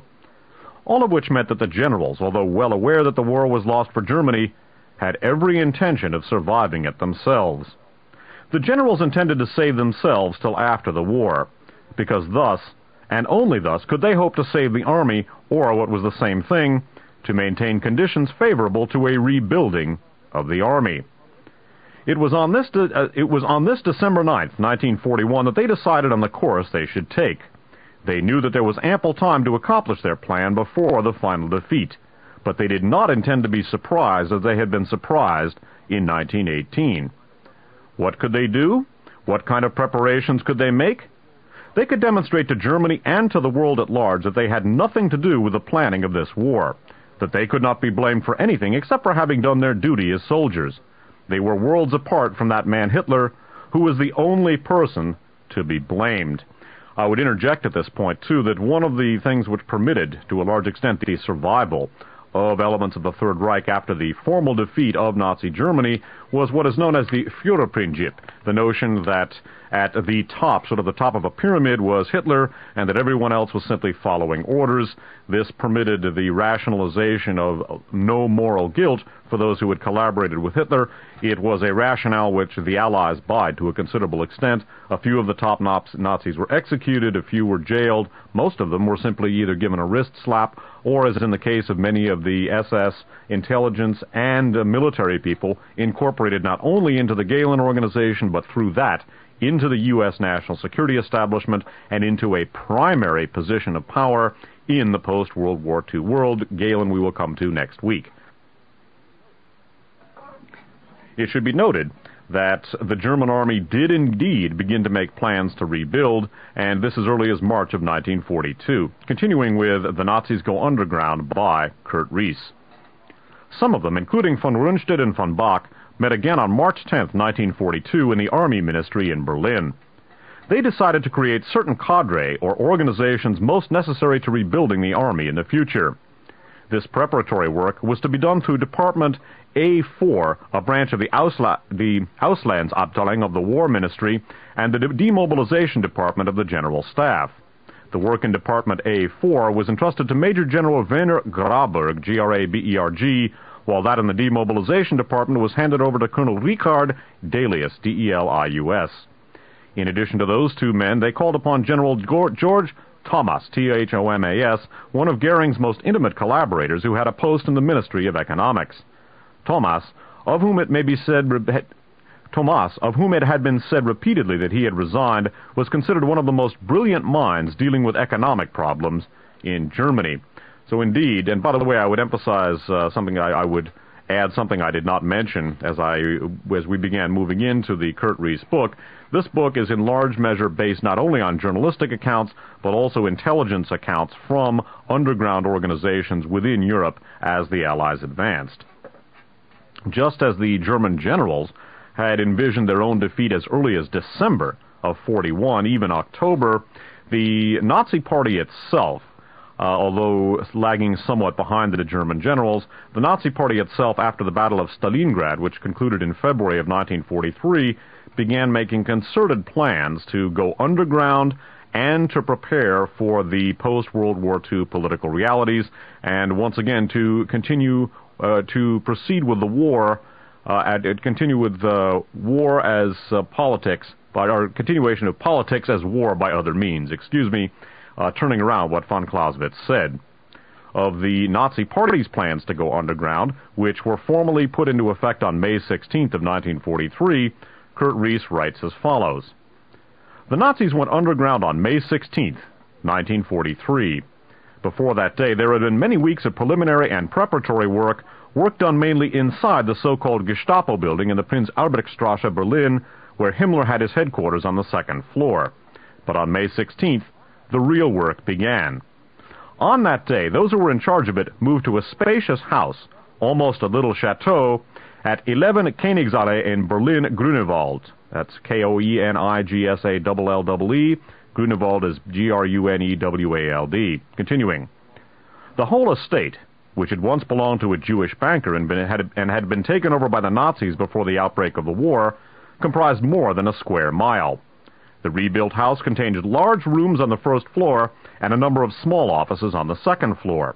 The left wing of the main building was occupied by General Werner Heissmeyer of the SS, and his staff, the right wing by General Fritz Kaltenbrunner of the SS. Heissmeyer, H-E-I-S-S-M-E-Y-E-R, Kaltenbrunner, K-A-L-T-E-N-B-R-U-N-N-E-R. In the large, well-kept garden that surrounded the house, some of the old trees had been cut off to make room for small, office bungalows. The archives were stored in a bomb-proof cellar. I quote from a report, quote, It was the intelligence department of the Gestapo which moved to 11 Königsallee on May 15th and 16th. From May 16th on, the intelligence department of the Gestapo was split into two parts. About half of the officials went on as usual in the Prinz Albrechtstrasse. The rest worked in Königsallee under Heissmeyer and Kaltenbrunner, Albrechtstrasse is A-L-B-R-E-C-H-T-S-T-R-A-S-S-E. Continuing. strange orders began to issue from 11 Königsallee during the following weeks, most of them unintelligible to those who received them. It was, for instance, decreed that certain units within a certain government department should be dissolved and that other new units should be formed in other departments. Minor officials were suddenly transferred into, into departments for which they had never worked. From September of 1943 on, these strange orders increased. Some important departments were suddenly dissolved or completely organized, reorganized, or merged with other departments. All these orders were signed by Heinrich Himmler, who had by then become general plenipotentiary of the Reich. At 11 Königsallee, everyone worked feverishly. They had better means for they had better means for preparing to go underground than any other potential underground movement in the entire previous history of the world. That last sentence again, because it's a key one. They had better means for preparing to go underground than any other potential underground movement in the entire previous history of the world. They had all the machinery of the well-organized Nazi state, and they had a great deal of time to prepare everything. They worked very hard, but they did nothing hastily, left nothing to chance. Everything was thought through thoroughly and logically and organized to the last detail. Himmler planned with the utmost coolness. He chose for the work only the best qualified experts, the best qualified, that is, in matters of underground work. What exactly does it mean to go underground?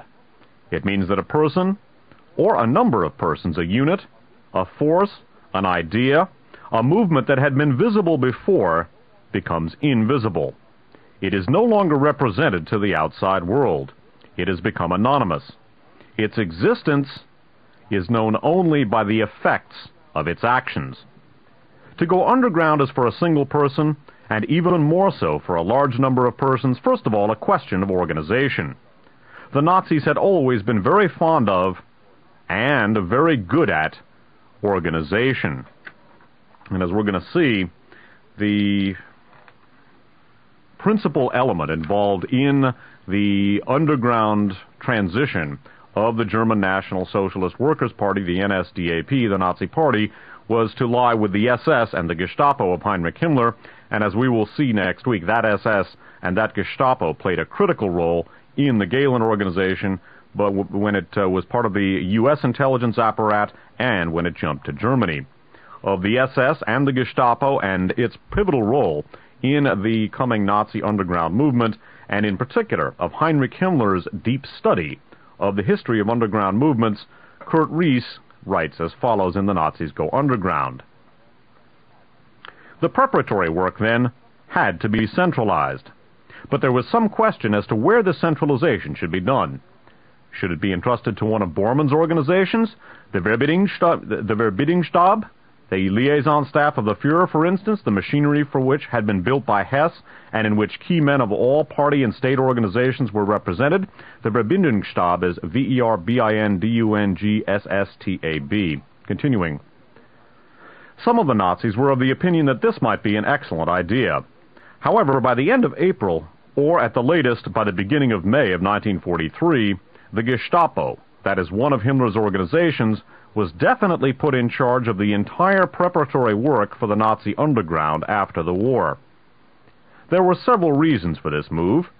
Perhaps one of the main reasons was that Himmler, by dint of constantly simplifying his organization and increasing its efficiency, had brought it to such a state of perfection that by now the Gestapo had become by far the best organized machine within the Third Reich, a fact which would facilitate the work considerably, while Bormann had hardly changed the much less streamlined organizations which Hess had left him.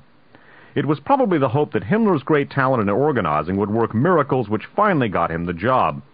But perhaps it was also the fact that Himmler wanted it, and the police minister could be strangely persistent when he wanted something for himself. The world knows a great deal about Heinrich Himmler, and still, it knows very little. He has chiefly been known all over the world, and particularly inside Germany and the occupied countries, as the cruel police chief of the Third Reich. So much so that Dr. Goebbels decided by the end of 1943 to, to distribute 4 million picture postcards showing a smiling Himmler talking to children in order to prove that he is a human being, even as you and I. But there are many sides to Himmler of which very few people have ever heard.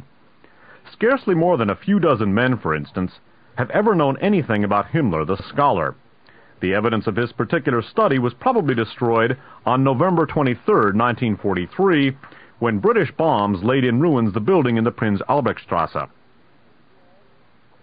Himmler's rooms contained a small but extremely specialized private library consisting entirely of books dealing with the subject of underground movements. There were volumes on the intrigues of the Bourbons since, since 1789, on the Bonaparte movement after 1815, on what happened in Prussia between 1806 and 1812. There were Kotzebue's works on the history of German orders, the writing of Lenin and Trotsky on the organization of underground movements, and those of Dzerzhinsky, the first efficient police organizer of the Bolsheviks, as well as books on the Ku Klux Klan, the Irish revolutionary movements, the German Free Corps, and Feme organizations of the early 1920s, etc. Spellings, by the way, Kotzebue is K-O-T-Z-E-B-U-E, Dzerzhinsky is D-J-E-R-S-H-I-N-S-K-Y. Continuing. That was what Heinrich Himmler had been interested in for a long time. Underground movements of revolutionary character, underground movements of forces and personalities who had been deprived of power and wanted to stage a comeback. All these books most undoubtedly have influenced Himmler, and thus they will influence the future strategy of the Nazi underground. Germans are fond of thinking and acting in historical parallels. So again, one of the central points of the last couple of passages, remember now, the German General Staff making plans for their post-World War II revival on December 9th. 1941, the Nazi Party itself was going underground by May 16th of 1943, and that coming underground movement to have been built around and executed by the Gestapo and SS. I would note, too, that what that means is for that for the last two years of World War II, the Third Reich was fighting what is known in military terms as a rear guard action. They were conducting a military defense for the purposes of effecting an orderly and successful retreat so that they might fight again. Only, obviously, with the advent of nuclear weapons, the possibility of open frontal warfare uh, became obsolete. However, once again, politics is the continuation of war by other means, as we as we pervert slightly von Clausewitz, and that is what the Third Reich, in particular in the person of the Gehlen organization, was able to do. We will come to that next week. One of the most important methodological and theoretical considerations to understand as we begin looking at this early history of the development of the historical forces which formed the milieu that we looked at the last two weeks, and that milieu uh, came into ascendance in Dealey Plaza on, in Dallas, Texas on 11-22-63. In understanding how the United States lost the Second World War, one must comprehend that one of the major strategic, uh, strategic breakthroughs that the Germans, both the German General Staff and the industrialists whom they represented, and the Nazi Party itself, including the SS and Gestapo, they learned that communism, or the threat of communism slash Bolshevism, could be used in a very effective way to promote and guarantee their own survival and perpetuation. What we're going to look at now is how the German Revolution, which took place at the end of World War I, permitted the German General Staff not only to remain in place, but to successfully perpetuate the German Army. Now, once again, in Radio Free America program number 10, and in a miscellaneous archive show about the FEMA and the origins of the Nazi Party, we dealt with the German Revolution and some of its consequences for uh, po the politics that followed there was in Germany, in particular in Bavaria and some of the Baltic states, at the, or actually during the closing days of World War I, an abortive Marxist revolution, uh, much as had taken place in uh, the former Russian Empire in 1917. The, many of the workers and soldiers of Germany revolted and set up workers and soldiers Soviets or councils, much as the Communist Party in the Soviet Union had done. Only the difference was that in Germany, the revolution was successfully put down, this by the German military, because the socialist government of President Friedrich Ebert, E-B-E-R-T, the first president of the Weimar Republic, was very much afraid of uh, the Bolsheviks, as well as the German industrialists and the considerably, the, the very sizable German middle class. So they not only saw to it that the German generals of the German imperial days remained in power, but as I mentioned earlier in the broadcast, they set up three military organizations, the Freikorps or Freikorps, the Einwohnerwehren, and the Zeitfreiwilligenverbände. These organizations, composed of the supposedly demobilized German army, successfully quelled the German Revolution. Adolf Hitler, by the way, infiltrated the German Revolution in Munich as an undercover agent for the political department of the Reichswehr under General von Lossow, and uh, then fingered the leaders of the revolution after the German army took it over, took over Munich. They were then promptly shot. These organizations, the Freikorps, the Einwohnerwehren, and the Zeitfreiwilligenverbände, after the expiration of their formal terms, they remained intact underground and became known as the so-called Black Reichswehr or Underground Reichswehr, Underground German Army. They then proceeded to systematically assassinate not only the leaders of the Bolshevik, the abortive Bolshevik revolution in Germany, such uh, the, the various people, Karl von Liebknecht and Rosa Luxemburg, they also proceeded to assassinate the legitimate democratic leadership of Weimar Germany, ranging from socialist to social democratic. Uh, people like Foreign Minister Walter von Rathenau, Kurt Eisner, Karl Gareis, Matthias Erzberger, Gustav Landauer, uh, names history hasn't remembered. Uh, they were dispatched by the so-called Black Reichswehr, and that paved the way for Hitler's rise to power because much of the legitimate political leadership that could have opposed him was dead and buried by 1933 when von Hindenburg appointed him chancellor. It should be noted, though, that as a result of the experience of the German army at the end of World War I, when the socialist president Friedrich Ebert deliberately called on the German generals and enlisted their help to put down the German Revolution, the German General Staff and their industrialists and the Nazi Party, which had its genesis in this period, understood that the threat of communism could be used as a tremendously effective strategic tool in order to effect uh, not only their own survival and perpetuation, but as I will touch on later, uh, the Nazis were able to utilize fear of communism on the part of many industrialists around the world, not only to enlist support, but also to effect the conquest of uh, some of the armies they opposed. The French army, for example, was surrendered, formally surrendered by Marechal Pétain, the head of the Vichy collaborationist government, in order to, quote, fight communism. There was a very powerful socialist movement in France prior to World War II, uh, chiefly grouped around the social front of Léon Blum, B-L-U-M. Many of the French industrialists and financiers and many of the French uh, officer corps and general staff were more afraid of the socialists in their own country than foreign fascists.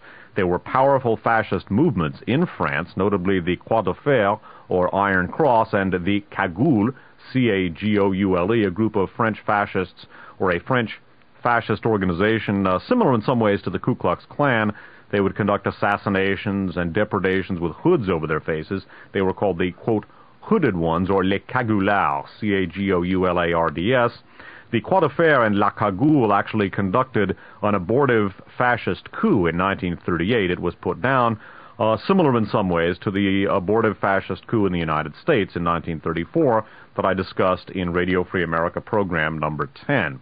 But again, the important thing to understand here is that as a result of their experience in the German Revolution at the end of World War I, the German General Staff, the industrialists and financiers who backed them, and the Nazi Party, which had its genesis in this period, came to understand that the fear of communism could be exploited in a most effective way as a tool of conquest. Of the experience of the German General Staff and the German Army, and, and during the German Revolution, the abortive German Revolution of 1918 and afterward, Kurt Riess writes as follows. On November 9th, 1918, the day of the German Revolution, the gentlemen in the general headquarters on the front were in a highly nervous state. They waited. There was a direct telephone line connecting the general staff with the chancellery in Berlin. They waited. They wondered. Would the man who was now the head of the provisory, the provisory government of the Republic, the former socialist deputy Friedrich Ebert, E-B-E-R-T, answer the telephone if they called him? In short, would he collaborate with the General Staff? Or would he dismiss the men who represented everything the socialists had been fighting against and who, on top of it all, had lost the war? The chief of the General Staff, Wilhelm Groener, G-R-O-E-N-E-R, tried the line and President Ebert answered. Friedrich Ebert was willing to collaborate with the generals. The socialists wanted the officers to continue in service to protect law and order in Germany. Against whom? Naturally, against the people who had actually believed that a real revolution was on and that there were and, and that those who had been directly or indirectly responsible for the war were to be driven from power. After the first conversation, Ebert called back very soon. The man who answered his call was Major Kurt von Schleicher, S-C-H-L-E-I-C-H-E-R. How relieved he must have felt when the bell rang. How relieved General von Hindenburg and his comrades must have felt as well. So there wasn't going to be any revolution. The Social Democrats really didn't want to change so much after all, did they? Major Kurt von Schleicher did not lose much time with such considerations. On the same day, on November 9, 1918, which has become the historic date of the German Revolution, he began to lay his plans to fight the republic which he supposedly protected. On this very day, he began to lay his plans to counteract the conditions of the armistice and whatever conditions the peace treaty might impose upon Germany. On this very date, he started the underground movement of the Imperial German Army. It was all very secret. It had to be, because it was a conspiracy not only against the former enemies, but a conspiracy against the very republic which the officers had sworn to defend, and which incidentally paid the salaries of those officers. A conspiracy in which the Army Ministry of the Republic collaborated gleefully for many years to come. A few disturbing facts leaked out here and there. A few, a few courageous journalists wrote of what was going on behind the scenes. A few convinced Republicans were murdered, that's uh, with a small r, by the way. A few convinced Republicans were murdered, while others were accused of high treason and put into prison. The government, in spite of the fact that it knew better, declared again and again that there was not one iota of truth in the current rumors about the existence of a number of secret armies, a so-called Schwarze Reichswehr, or Black Army in Germany. Such talk, they said, was all propaganda paid for by France and possibly by Poland. But in spite of these pretenses and excuses, there were such secret armies. As for the official army, the one permitted by the Treaty of Versailles, it never had quite come down to the number of men it was supposed to contain.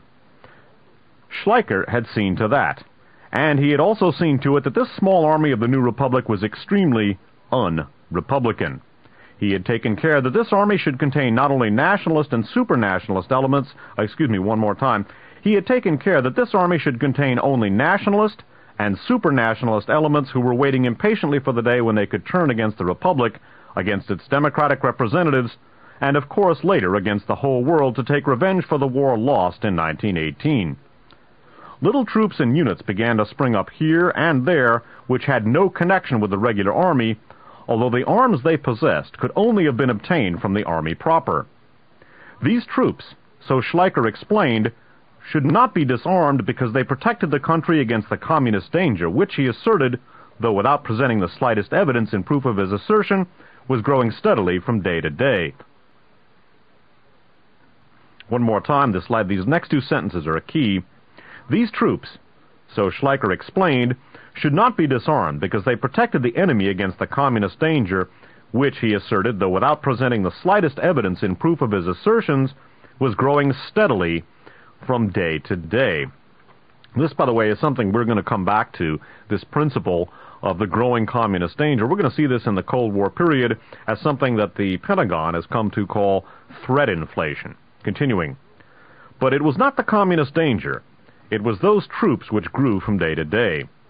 During the year 1922, many of them sprang up near the eastern frontier. Their main task was to gather the war material which, according to the Treaty of Versailles, should have been destroyed or surrendered to get it in good shape and to hide it. Some of these groups had fancy names. Most of them were later known at, later to be known as the Free Corps. All of them formed what was to become famous as Schwarze Reichswehr. Thus, the following picture presented itself, visible to the world at large there, Uh, one more time. Thus, the following picture presented itself. Visible to the world at large, there was this relatively small German Reichswehr. Invisible, that is, underground, there was the Schwarze Reichswehr. Both these armies were led and controlled by the same officers. The ultimate control of both was exercised by the Army Ministry of the German Republic.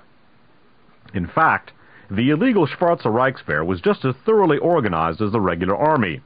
In 1922, so-called Erfassungsabteilungen, collecting departments, were created within the Black Reichswehr. That, by the way, is E-R-F-A-S-S-U-N-G-S-T-A-B-T-E-I-L-U-N-G-E-N. Erfassungsabteilungen. okay, continuing again. The officers of each military district were thus able to assemble personnel files on all men of military age, precisely what had been forbidden by the Versailles Treaty.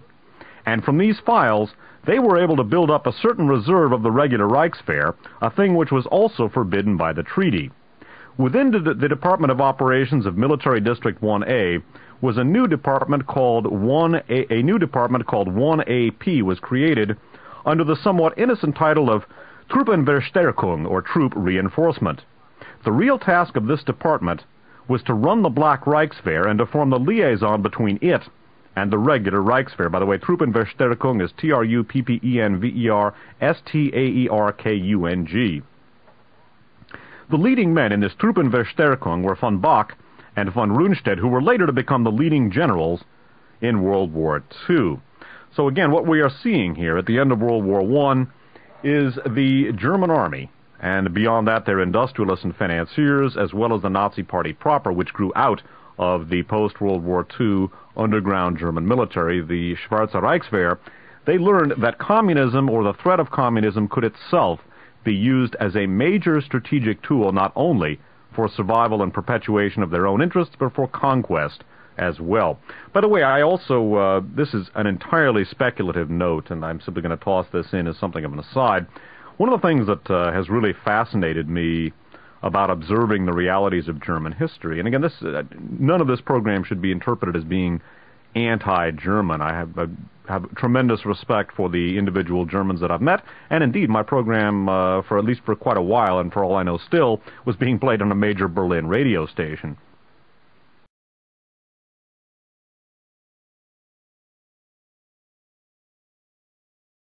By the way, I also, uh, this is an entirely speculative note, and I'm simply going to toss this in as something of an aside.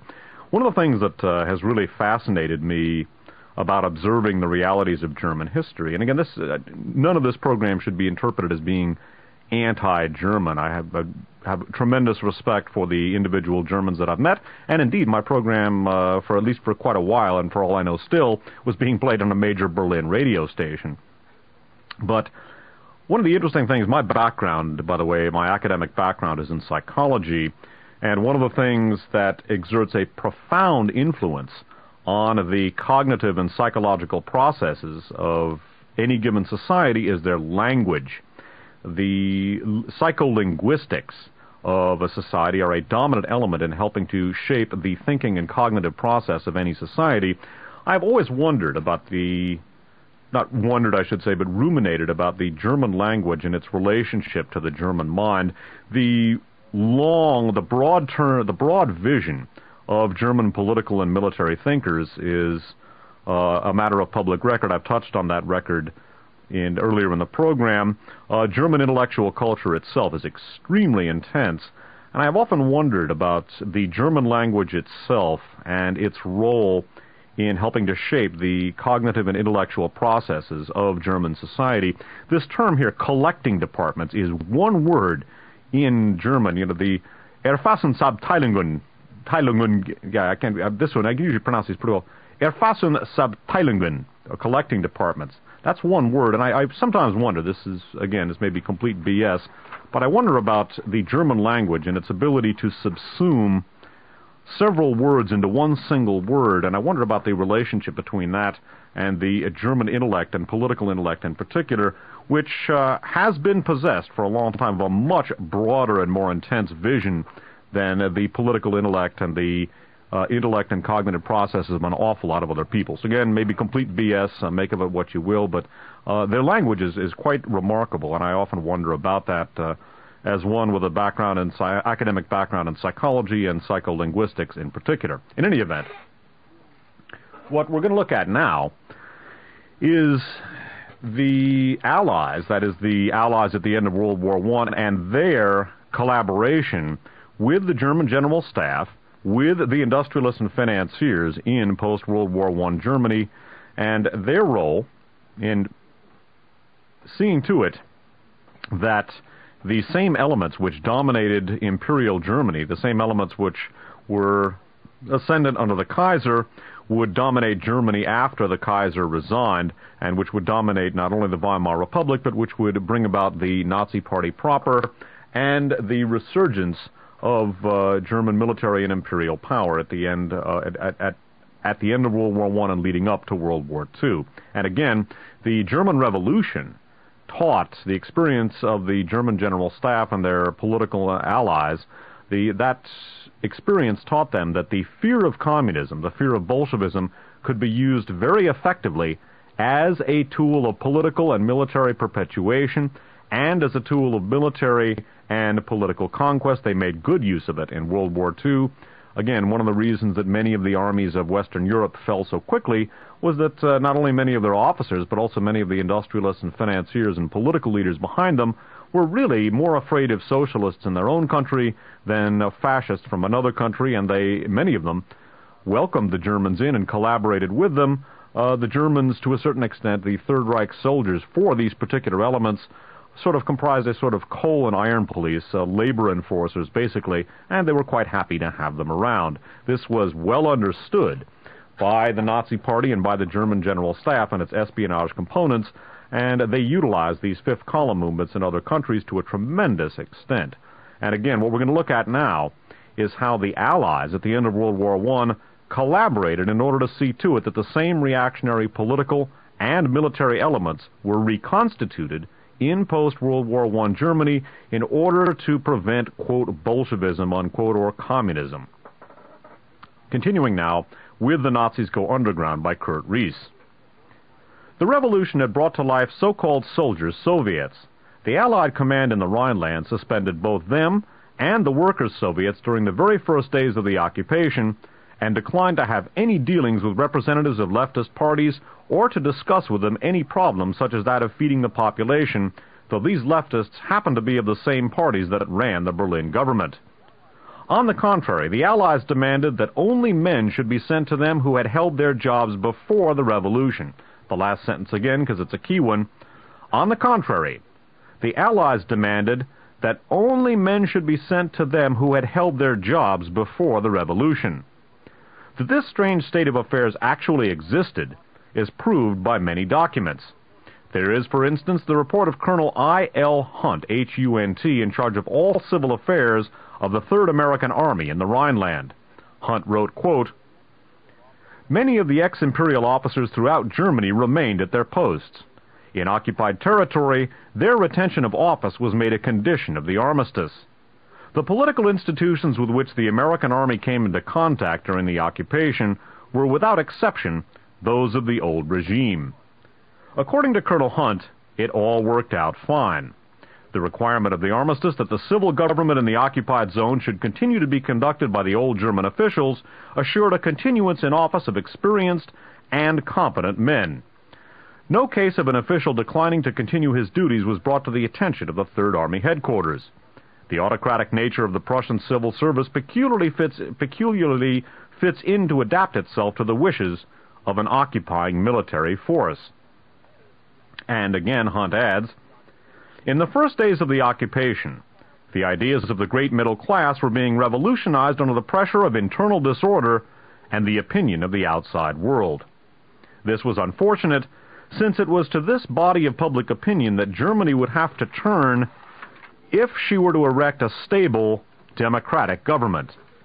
Hence, in many cases, our arrival was welcomed by the ex-imperial officials who regarded our coming as being of great assistance in enforcing their authority, which had been weakened by the revolution. The last sentence again. Hence, in many cases, our arrival was welcomed by the ex-imperial officials who regarded our coming as being of great assistance in enforcing their authority, which had been weakened by the revolution.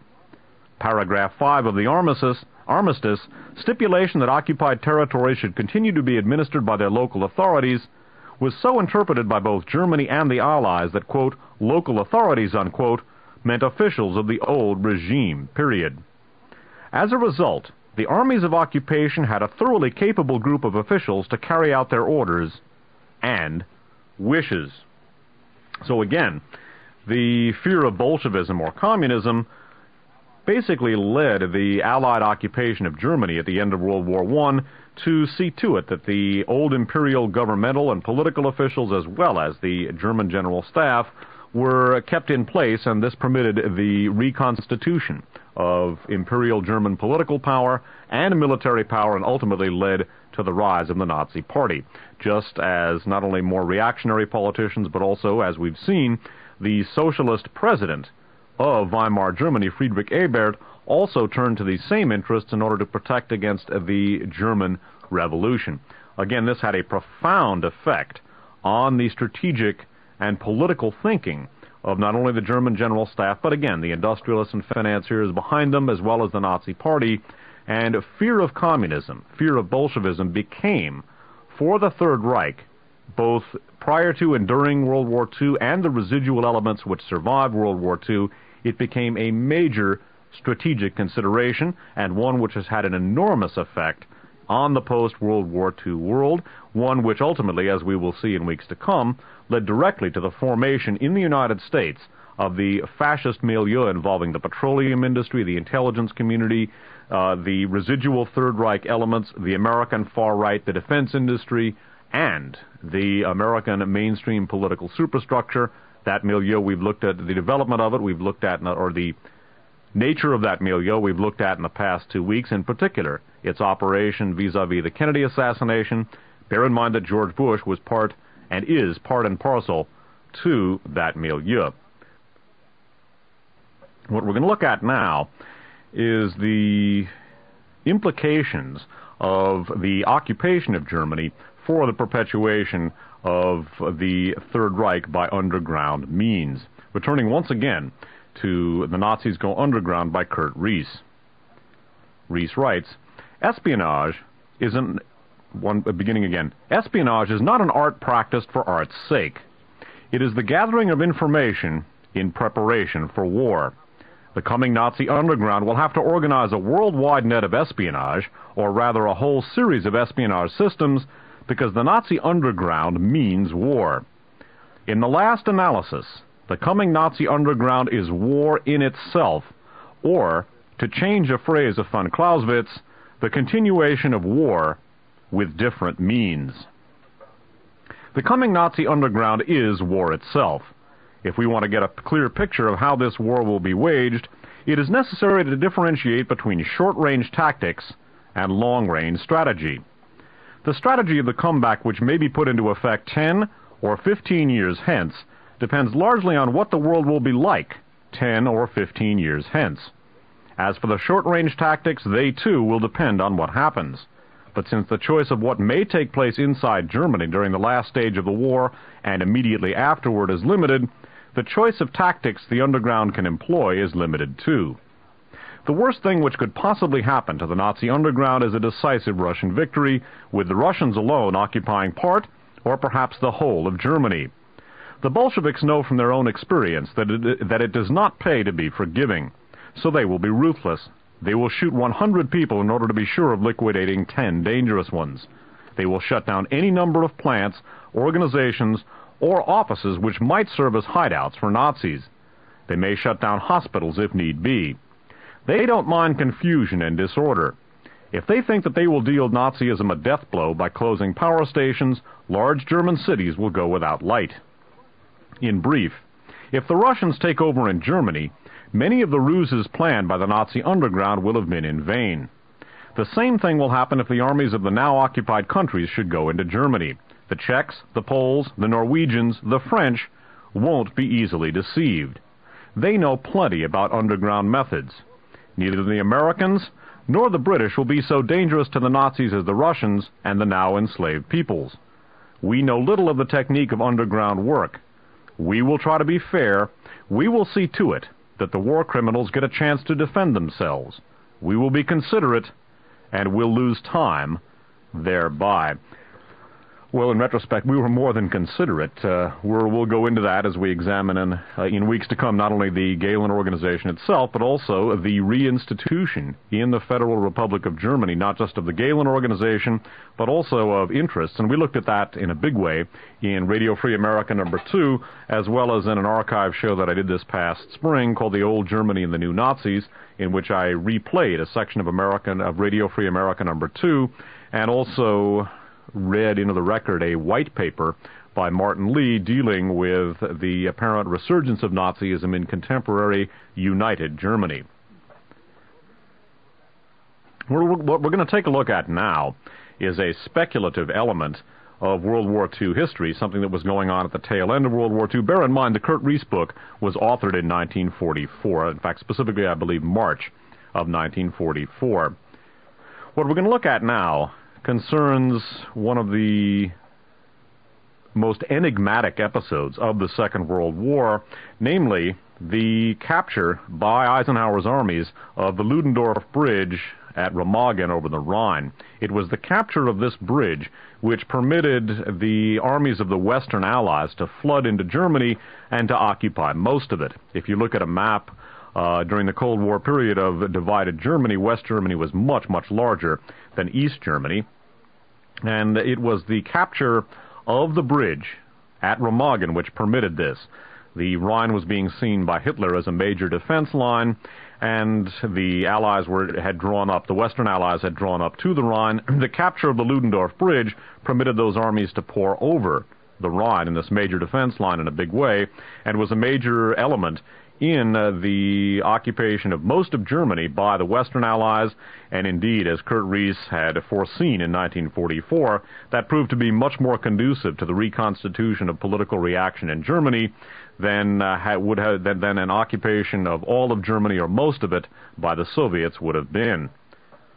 We're going to take a look now at a book called The Last Hero, subtitled Wild Bill Donovan. That's by Anthony Cave Brown, cave as in caveman. This book was published in hardcover by New York Times Books and copyrighted 1982. What we're going to take a look at now is the approach, the diplomatic approaches that were made by the German General Staff to the Western Allies, in uh, specifically to the OSS, the Office of Strategic Services, World War II's intelligence service and precursor of the CIA, that headed up by uh, Wild Bill Donovan, William, quote, Wild Bill, unquote, Donovan. He was the head of it.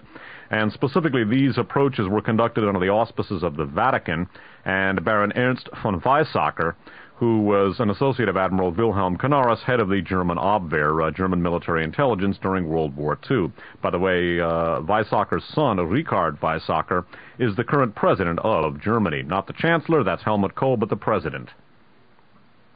And uh, as we will see here, the Germans were indeed seeking to work out an agreement with the Western Allies, which would permit them basically they were they were seeking to open the Western Front and to permit the Allies to occupy most of Germany. Officially, that never happened, but as Anthony Cave points out, Anthony Cave Brown rather points out, the circumstances surrounding William Donovan's movements, Wild Bill Donovan's movements in this time period, which were highly mysterious, and the strange circumstances surrounding the, surrounding the capture of the Ludendorff Bridge at Remagen, suggest at least the possibility that in fact sub rosa such a deal may have taken place. This is a speculative note. Cave Brown underscores that, so do I. Uh, I suspect, though, that there may be far more to this than uh, what the general public has been led to believe by the conventional history. Reading now from The Last Hero, Wild Bill Donovan by Anthony Cave Brown, a chapter called FDR's Death and the German Surrender. In March of 1945, Donovan's movements, which were always difficult to track, became exceedingly mysterious at a time when the German General Staff was indicating its desire to open the Western Front to the Western Allies and allow them to occupy all Germany before the Red Army. At least in part, these approaches derive from WJD's, that's William Donovan's special connections at the Vatican. These had opened up in July and August of 1944 when Donovan held highly secret conversations with the German ambassador at the Holy See, Baron Ernst von Weizsäcker, an associate of Canaris's. That's W-E-I, W-E-I-Z-S-A umlaut C-K-E-R. Continuing. The conversations were arranged by, it is believed, Pope Pius XII, for WJD saw the Pope in July. And following the talks, the contact between Donovan and Weizsäcker was maintained, as the Donovan papers show, by Colonel Joseph Rodrigo, R-O-D-R-I-G-O, a regular Army intelligence officer who had transferred to the OSS and was stationed in Italy. Rodrigo's contact with Weizsäcker was through Weizsäcker's counselor at the embassy, Albert von Kessel, K-E-S-S-E-L. It was to transpire that both Weizsäcker and Kessel had connections with important members of the German General Staff including the Chief of the German General Staff, General Heinz Guderian, and Field Marshal von Rundstedt, the Supreme German Commander on the Western Front. Guderian is G-U-D-E-R-I-A-N. While the matter broached by Weizsäcker and Kessel was an attempt to surrender on terms intended to permit the Wehrmacht to maintain the Eastern Front, terms that were, therefore, totally unacceptable, in Weizsäcker there nevertheless remained a powerful and influential contact with the German General Staff, a replacement for the unfortunate Canaris, who had been arrested after the July 20th bomb attack on Hitler's life and was, it was thought, in an SS concentration camp. The Weizsäcker contact was still in existence in March of 1945 when the Allied armies rolled up to the Rhine for the last offensive against Germany. As a result, the secret war had entered its trickiest stage, one in which the OSS was required to display the most judicial attitudes towards the reports from its representatives overseas if the Grand Alliance was not to be damaged and perhaps destroyed at the most critical phase of the war when the nature of the peace was being decided. After several real and false attempts at securing an accommodation with the Western powers, on January 24, 1945, as the German panzer armies were withdrawing from the Ardennes, Donovan advised the Joint Chiefs of Staff that the German ambassador to the Vatican, Baron von Weizsäcker, and Kessel had informed a British representative that they were prepared to give important information concerning General de Panzergruppe and Heinz Guderian, that Guderian, with Rundstedt, was prepared to open the Western Front to Eisenhower's armies. A couple of points here. Uh, once again, I want to underscore that any competent history of World War II or the Third Reich will reveal, uh, it's not hardly a secret, that during the closing phases of the war, Adolf Hitler sought to persuade Britain and the United States to forego their alliance with the Soviet Union and to ally with Germany instead and to conduct an offensive against the Red Army. Uh, this would be a, a, reconstituted alliance in which uh, Germany, the residua of the Third Reich, would ally with Britain and the United States and go against the Soviet Union. Uh, General Patton, among others, was ardently in favor of doing exactly that. Uh, I would also note, too, that uh, Pope Pius XII, the former Cardinal Eugenio Pacelli, was an individual whose sympathies to fascism are well recorded. It was uh, then Cardinal Eugenio Pacelli, who was the papal nuncio to Munich, who, according to a fellow named John Murphy in his book La Popessa that we covered in Radio Free America number 17, actually began channeling Vatican funds to Adolf Hitler as early as 1919 to help combat, again, the German Revolution because the atheistic aspect of Marxism was deeply repugnant to the Catholic Church, and so they too were willing to collaborate with reactionary elements, and according to John Murphy in La Popessa, then Cardinal Eugenio Pacelli, the papal nuncio to Munich, was actually funding Hitler with Vatican money as early as 1919. Later, the Pacelli family was deeply involved in concluding the Lateran Treaty, with Mussolini in Italy, which made Roman Catholicism the state official state religion of fascist Italy. And then uh, when Pacelli became Pope Pius XII, he canceled basically a plan by Pius XI to repudiate fascism and instituted a number of accommodations with the Third Reich. We went into that as well as this particular section from uh, The Last Hero in the aforementioned Radio Free America number 17, Fascism and the Vatican. Now, skipping down, now bear in mind here that the, under Vatican auspices, the Germans, the German General Staff, are making overtures to the Western Allies, a proposition to open up the Western Front and to permit the Allies to occupy all or most of Germany. Skipping down, Anthony Cave Brown writes, Now events took a most mysterious turn, which seems to have involved Donovan directly. Donovan left the Western Front for Washington on February 7, 1945, arrived back in the United States on the 8th, and lunched with Ruth, his wife, according to her diary on the 9th. He then rejoined his headquarters, busying himself with many matters, the most important being his plans for a post-war Central Intelligence Service, the plans that had been so rudely exposed by Trohan in mid-February. That was a Chicago Tribune journalist spelled T-R-O-H-A-N. Continuing. Yet despite the highest importance of the CIA matter, in the third week of February 1945, something made Donovan leave Washington suddenly, and very secretly, he went to unusual lengths to cover his tracks. Where he went, whom he saw remain a mystery. His OSS records show he was in Washington throughout this period, but his personnel file with the Adjutant General shows that on February 24, 1945, he departed for the European Theater of Operations, while on February 26, 1945, Ruth recorded, quote, Bill did leave today for Hawaii. Continuing.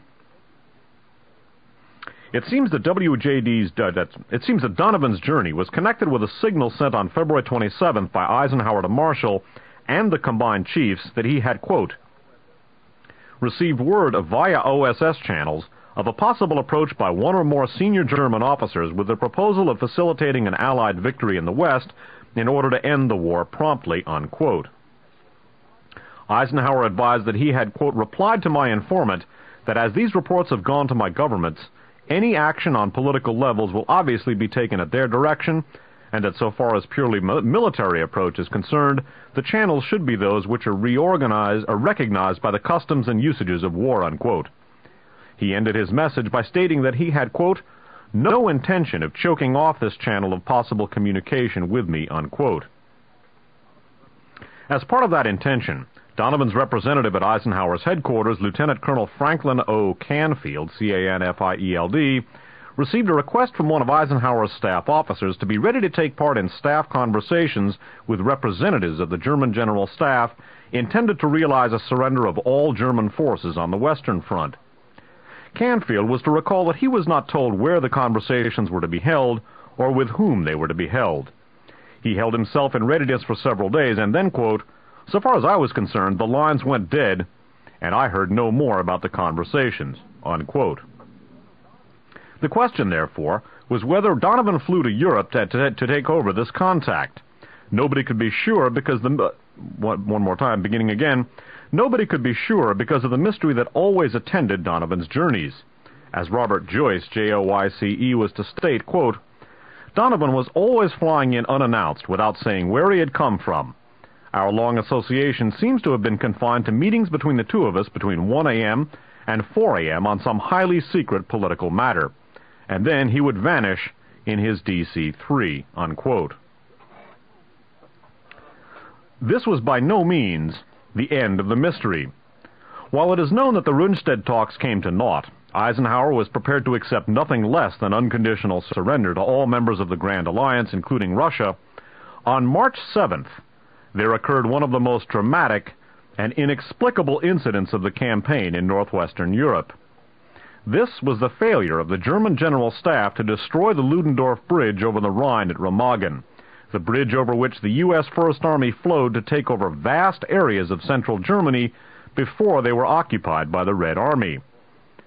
In the period after the Battle of the Bulge, the Western Front was marked by bitter and bloody fighting as General Eisenhower's armies closed up to the Rhine from the North Sea to the Swiss frontier. On the Rhine, it seemed probable, even certain, that Hitler had made that mighty river his main line of defense for the Ruhr, the industrial heartland of Germany, and the entire Reich. To cross that river, therefore, would require the employment of all arms on the scale of Cobra to break out operations in Normandy in August of 1944, when four Allied armies were required to crack the German line. A massive, expensive, possibly bloody and unsuccessful campaign that seemed unjustified at this late stage in the war, if a bridge could be obtained by coup de main or a clandestine means. Several attempts to get a bridge using such means were undertaken. At a time when there was great apprehension that the Red Army might occupy all of Germany unless the Allies did so before them, In mid-February, Eisenhower began to press upon his commanders what an official U.S. Army historian would call his, quote, intense interest, unquote, in seizing a bridge over the Rhine. Donovan, who had been at Eisenhower's headquarters in early February just before returning to Washington, could not have been unaware of this intense interest, for in the period in which the Allied armies closed up to the Rhine, there were a number of schemes, some of them involving special means to seize a bridge. But all failed until Remagen.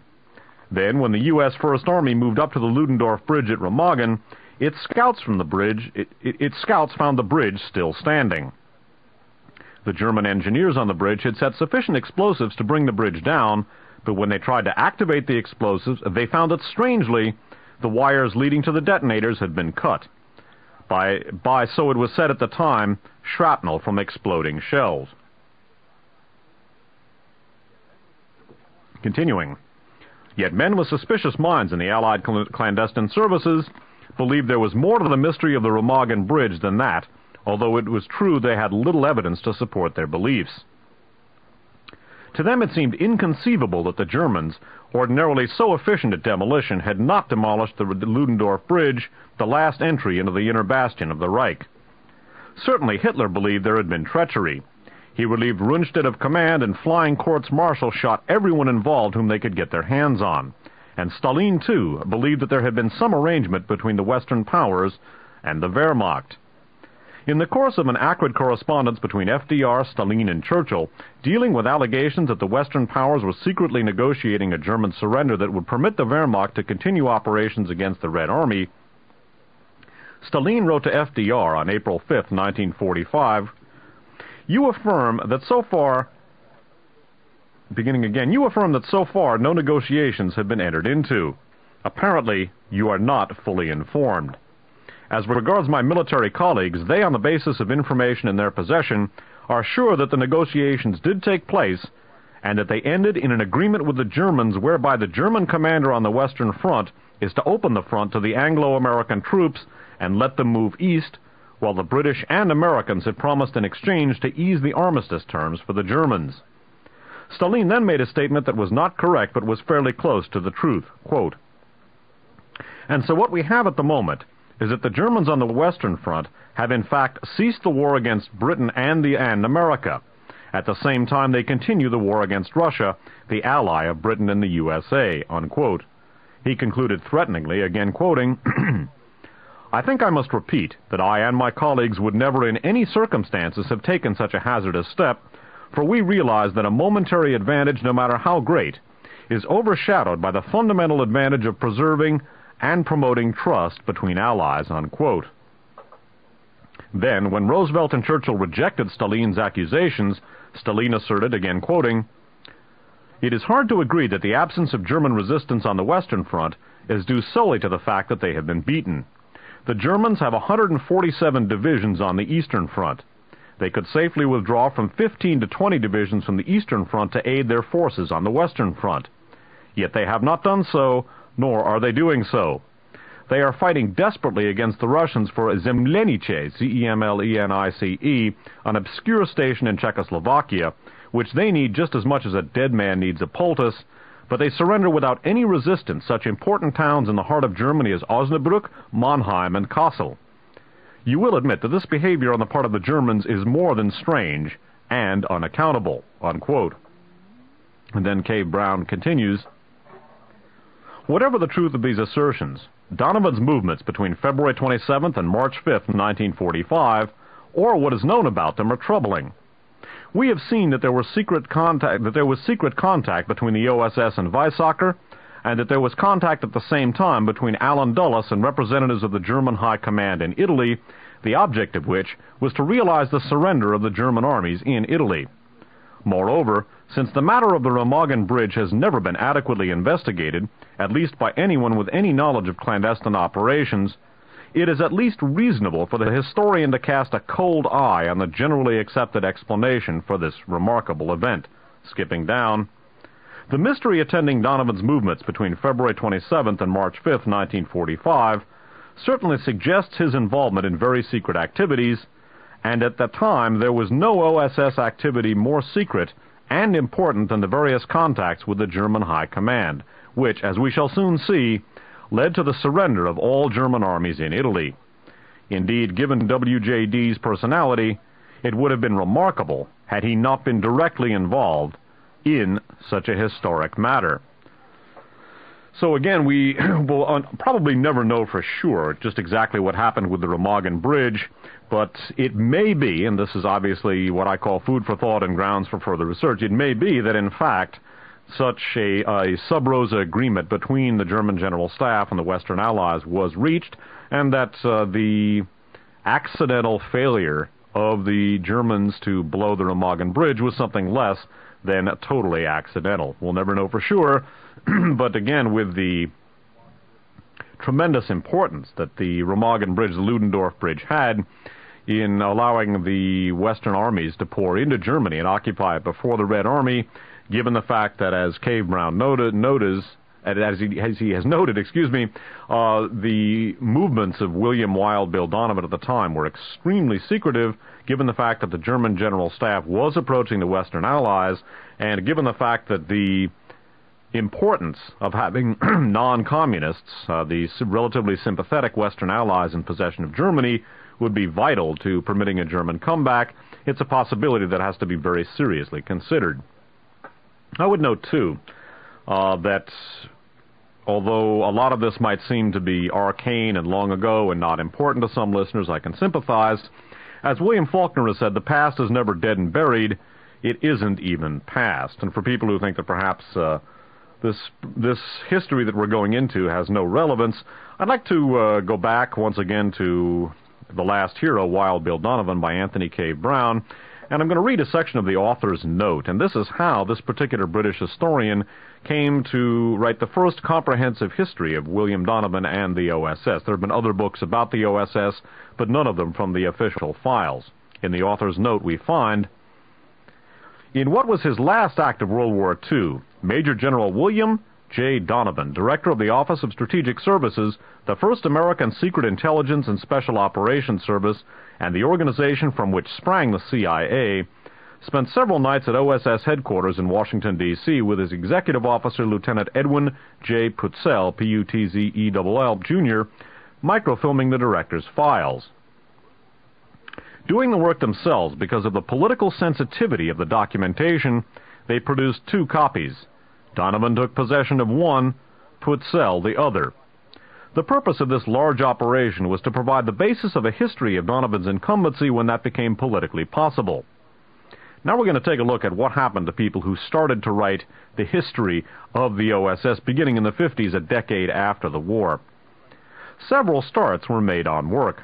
Professor Conyers Read, R-E-A-D, the Harvard historian, produced many draft chapters before Donovan, Donovan himself asked him to stop work because he felt the director's papers were still too sensitive. Read did not resume his work, for death intervened. One of Donovan's wartime majors, Corey Ford, F-O-R-D, then began work on the project in the mid-1950s, producing a draft manuscript of what was really a biographical history of Donovan and the OSS, but again, death intervened before Ford could complete his volume. After Donovan's, excuse me, after Donovan's death in 1959, the project was taken over by Whitney Shepardson, S-H-E-P-A-R-D-S-O-N, Donovan's chief of secret intelligence during World War II. For the third time, the author died before completing the work. Then came the fourth attempt, this time by Cornelius Ryan, the author of The Longest Day. However, although Ryan had the support of Donovan's friends, President Dwight D. Eisenhower and Allen W. Dulles, then Director of Central Intelligence, the work was stopped before it really began. A middle-rank official at the CIA managed to stop the project because he believed the book contemplated by Ryan would be too controversial.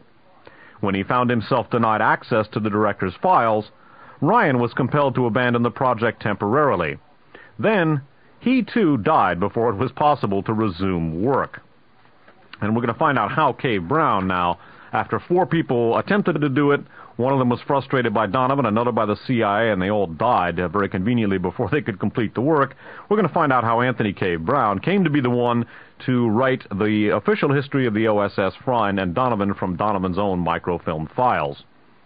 skipping down. Now, by the way, this uh, meeting here between Donovan, between uh, Anthony Cave Brown and William Casey, who became Reagan's director of CIA, a good buddy, by the way, of Prescott Bush Sr., George Bush's father. This particular meeting took place in 1977 after a meeting of the veterans of Strategic Services, OSS veterans, and uh, this uh, was while William Casey was a member of the President's Foreign Intelligence Advisory Board. Cave Brown writes, After the talk, I was invited with other members of the VSS to a party at the El Morocco nightclub, and there I met William J. Casey, who as a younger man had been Donovan's chief of secret intelligence in Europe. Casey was now a member of the President's Foreign Intelligence Advisory Committee and was soon to become Director of Central Intelligence in the Reagan administration. He suggested that I might like to do the Donovan biography. Immediately I declared that I was not the man for the job because its politics made it work for an American, not a Briton.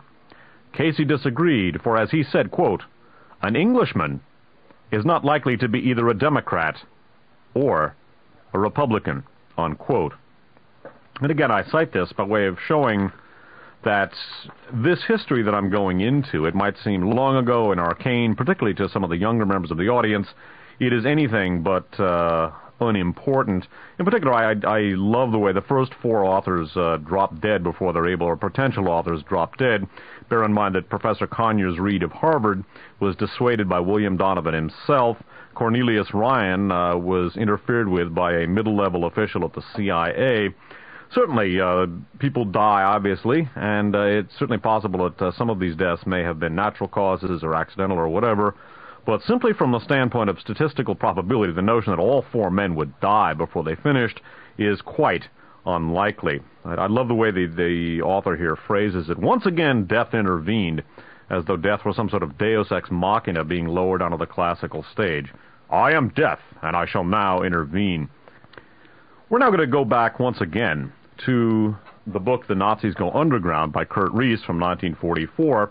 And what we're going to look at now is one of the major strategic and theoretical considerations as we examine the history of the formation of the milieu that we looked at in the first two installments of Radio Free America 37, this fascist milieu involving uh, Gehlen, uh, or Third Reich alumni on both sides of the Atlantic, both the Gehlen-linked white Russian people who were entirely responsible for handling the Oswalds in Dallas-Fort Worth, as well as the elements in Germany that were involved with uh, surfacing the story about uh, Lee Harvey Oswald having fired at Edwin Walker, and also the elements involved with generating the myth that Lee Harvey Oswald was a, a KGB assassin.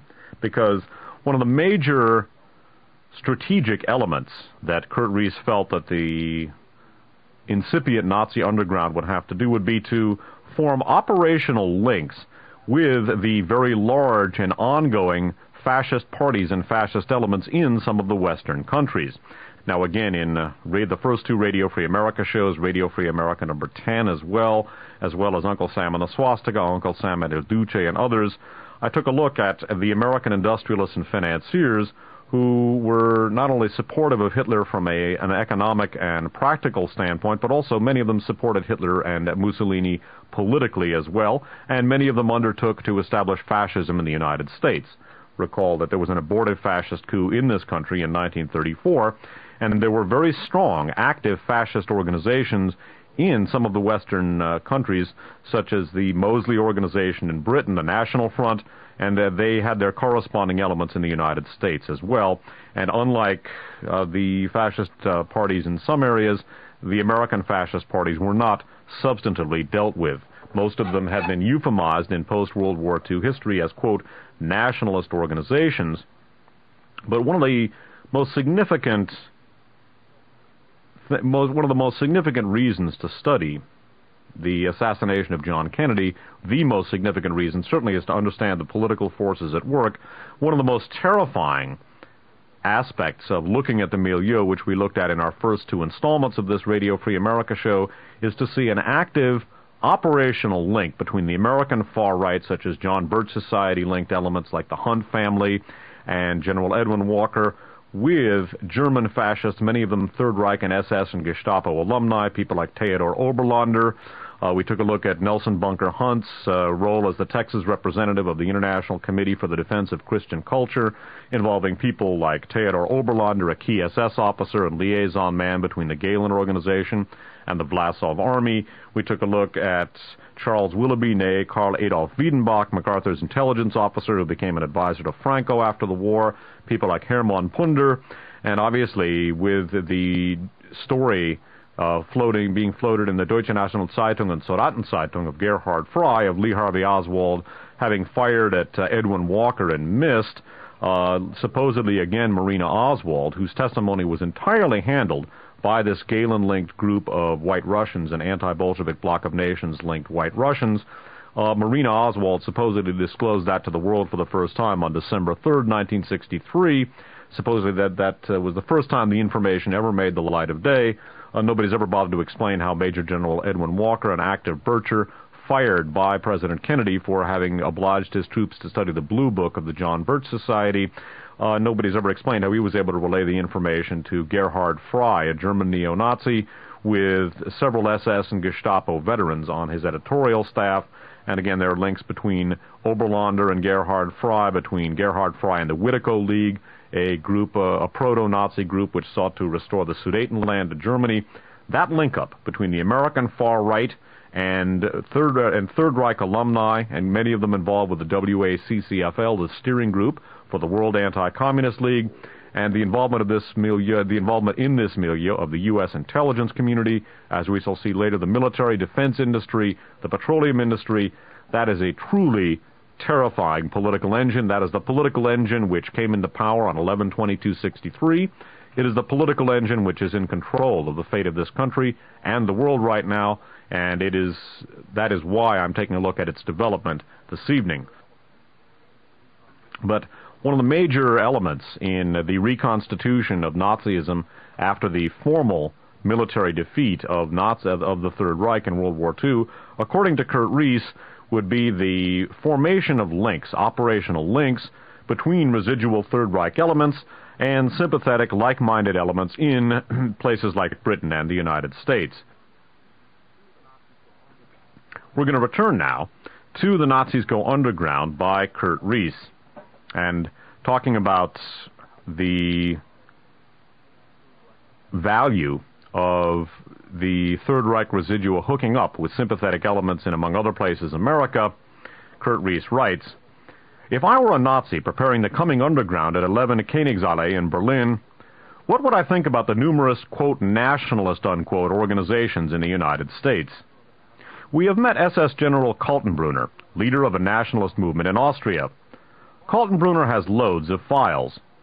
Certainly he must have canvassed the future possibilities in the United States we may assume that we may assume that he has elaborate dossiers on each and every nationalist organization in America for further reference. Even if his intelligence services furnished him with only scanty data about the most important organizations, even if his files contain nothing but what any trained reporter in the United States could find out about them without going to any trouble, surely these dossiers would be far from discouraging to him.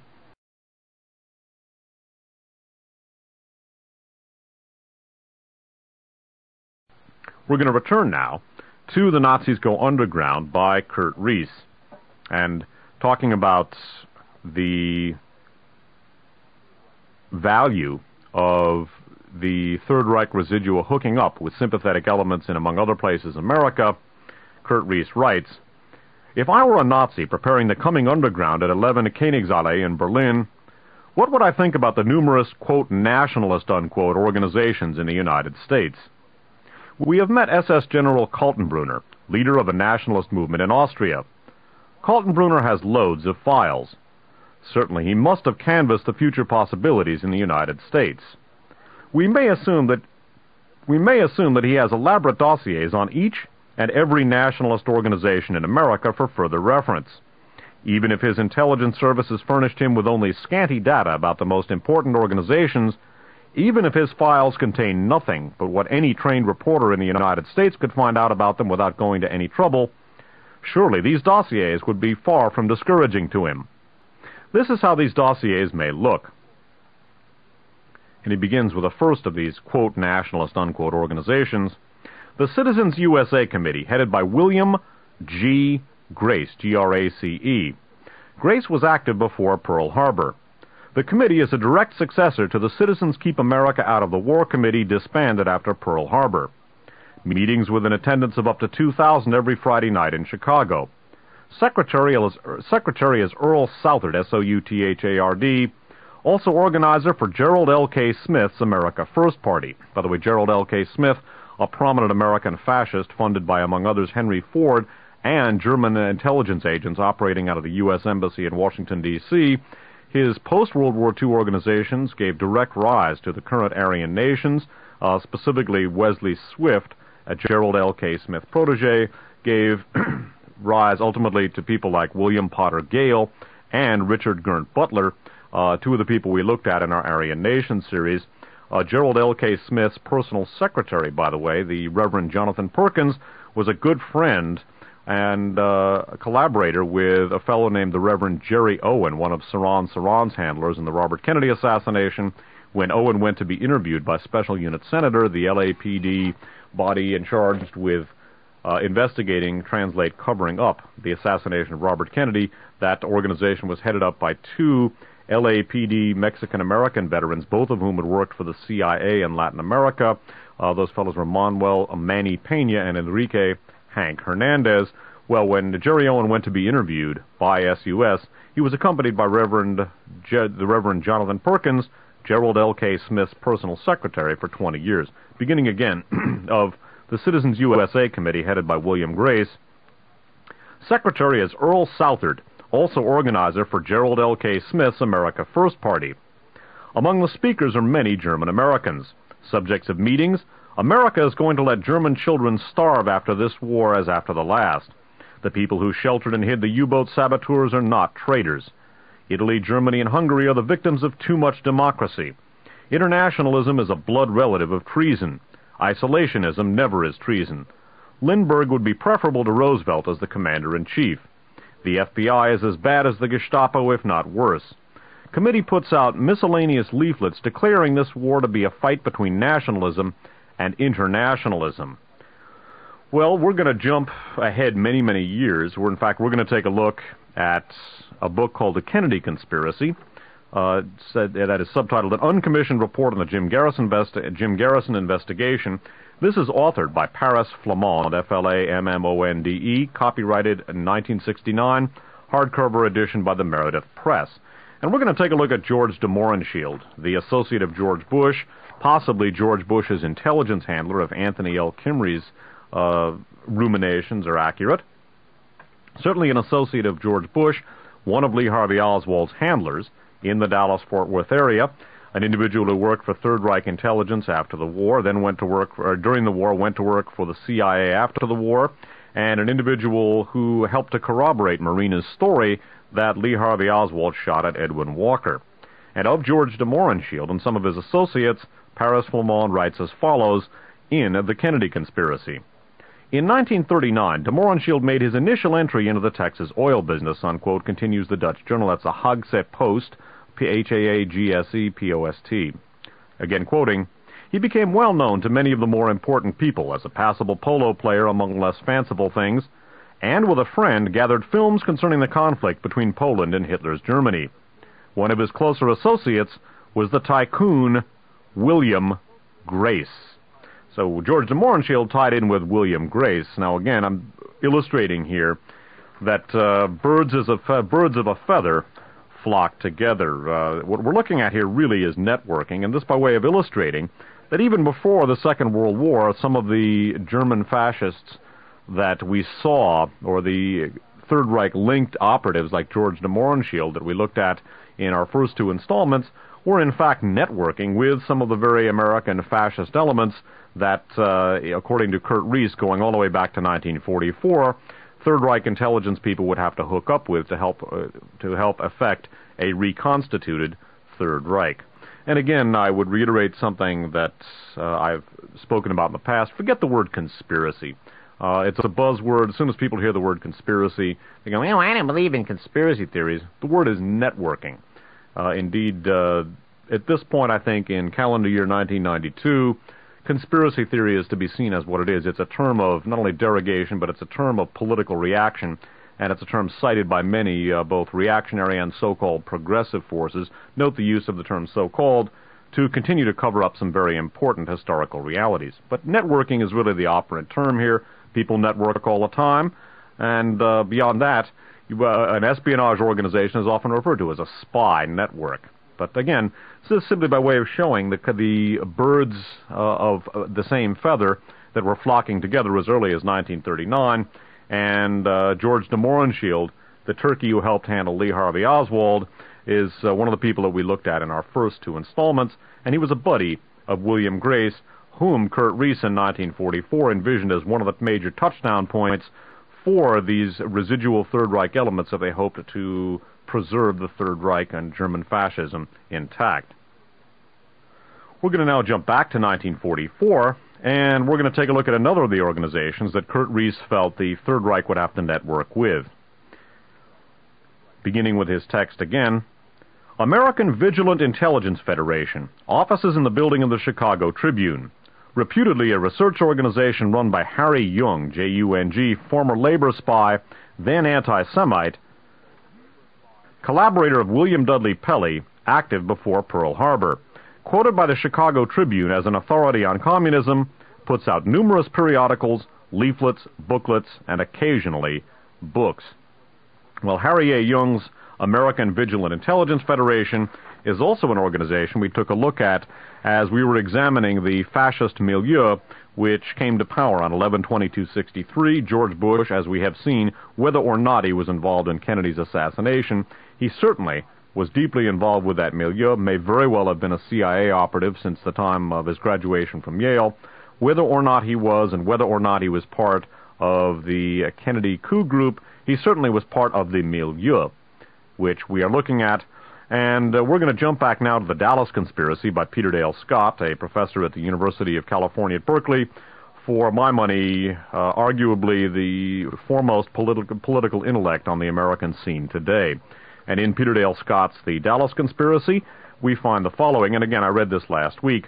We're going to take a look at something called the American Security Council, which was one of the organizations linked with the WACCFL, the World Anti-Communist Congress for Freedom and Liberation, the seed group for what later became the World Anti-Communist League. And we're going to take a look at the American Security Council here and its lobbying on behalf of the anti-Bolshevik bloc of nations. that, again, an organization which was formed by Adolf Hitler in 1943.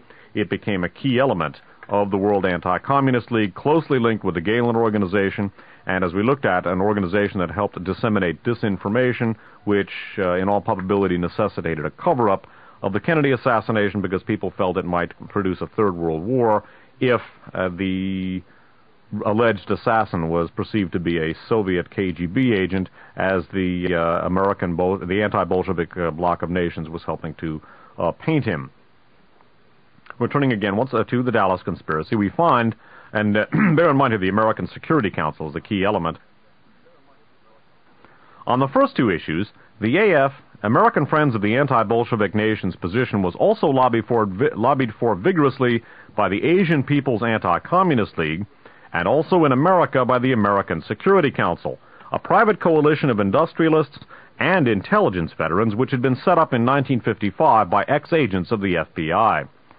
The American Security Council like Fritz Kramer's sister outfit in West Germany, the VFF, ran security checks on individuals seeking employment in private industry. Its index of over 1 million alleged, quote, subversives, unquote, was based on the anti-Semitic files of Harry A. Jung's American Vigilant Intelligence Federation, which had collaborated with the Goebbels Taubert anti-Comintern in the 1930s.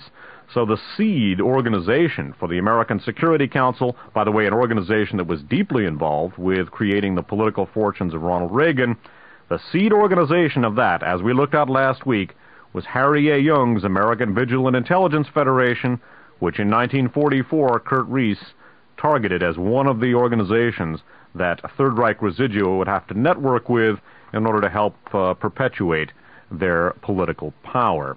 And again, networking is the term here. Forget conspiracy. Uh, it's a meaningless term, and in fact, at this stage of the game, it's actually a term of political reaction. Now, again, next week, what we're going to begin looking at is the Gehlen organization itself, and in particular, what we're going to be looking at next week is how the Gehlen organization affected American political life and American national security policy, and specifically, we're going to take a look at the Gehlen organization as literally, literally a Trojan horse inside the United States as a vehicle of the post-World War II Third Reich, and we're going to see how this organization basically successfully prosecuted politics as a continuation of war by other means, turning around von Clausewitz's famous principle. And the last item that we're going to look at in this installment of Radio Free America 37 is a short section from the book Blowback, subtitled America's Recruitment of Nazis and Its Effects on the Cold War. This is by Christopher Simpson, S-I-M-P-S-O-N, published in hardcover by Weidenfeld and Nicolson, copyrighted 1988.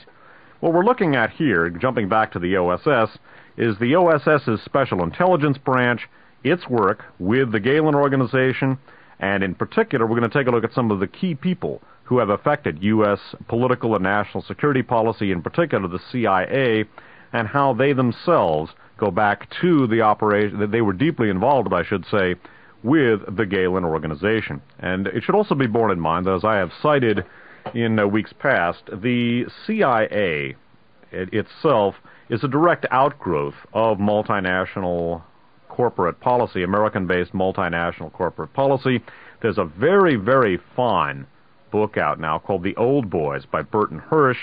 Uh, it's about the Wall Street elite and the CIA, and it uh, goes back to uh, the old OSS and how it evolved into the CIA, and shows how the principal figures in the operations and development of both organizations were basically some of the Wall Street corporate elite. Uh, very important, very influential Wall Street attorneys. Uh, we've touched on the Dulles brothers and Sullivan and Cromwell, on Carter, Ledyard, and Milburn, and people like Frank Wisner.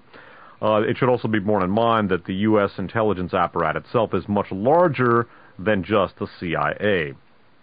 But by way of looking ahead to next week, and again, we're going to take a look at some networking here we're going to take a look at uh, a, a, section of blowback in which the OSS's connections with and jockeying for control of Reinhard Gehlen's Nazi Eastern Front intelligence organization are discussed, as we're going to see many of the people involved with the Special Intelligence Branch of OSS were people who themselves have wielded a profound effect on post-World War II political and national security and intelligence policy. Simpson writes, General William Wild Bill Donovan and Allen Dulles of America's Wartime Clandestine Operations Agency, the Office of Strategic Services, or OSS, were also tipped off about Gehlen's offer by a Dulles double agent inside the German Foreign Office. The OSS was soon jockeying with U.S. military intelligence for institutional authority over Gehlen's microfilmed records, and before long, over control of the German spy master himself. And in a footnote about this unit, the Special Intelligence Branch, Frank Wisner's Special Intelligence Branch staff, which was engaged in work with Gehlen, had more than its share of brilliant operatives who were to leave their marks on the history of U.S. espionage. They included Richard Helms, for example, later to become CIA Deputy Director for Clandestine Operations and eventually Agency Director under Presidents Johnson and Nixon. William Casey, CIA Director under President Reagan, Harry Rositzke, soon to become chief of CIA clandestine operations inside the USSR and later CIA chief, station chief of India, and of course Wisner himself, soon to be chief of all American clandestine warfare operations worldwide. Of course, we took a look at Wesley Liebeler, the Warren Commission counsel in charge with investigating the white Russian associates of Lee Harvey Oswald. Uh, his investigation uh, was perhaps less than effective, I guess we could say. And of course, he was a partner with Carter, Ledyard, and Milburn. That was the same law firm which Frank Wisner, head of the Office of Policy Coordination and CIA, worked for, an old OSS veteran. And at the same time that Wisner was deputy director of CIA, William Harding Jackson, another deputy DCI, also a senior partner in Carter, Ledyard, and Milburn. It was Wisner who brought over the OUN UPA of Stefan Bandera. And last week we took a look at how the assassination of Stefan Bandera was linked with a supposed Soviet assassination program to take place inside of the United States, of which Lee Harvey Oswald, according to some of these anti-Bolshevik bloc of nations and American Security Council people, was part. Recall Allen Dulles, of course, was made Director of Central Intelligence. He was then fired by President Kennedy for lying to him about the Bay of Pigs and then served as a key Warren Commission member. That concludes this installment of Radio Free America number 37. We will begin looking at how some of the networks that we looked at the last two weeks will begin evolving in a hard way now that we've laid down some of the historical foundation. But uh, this concludes this particular installment of Radio Free America program number 37 How the United States Lost the Second World War.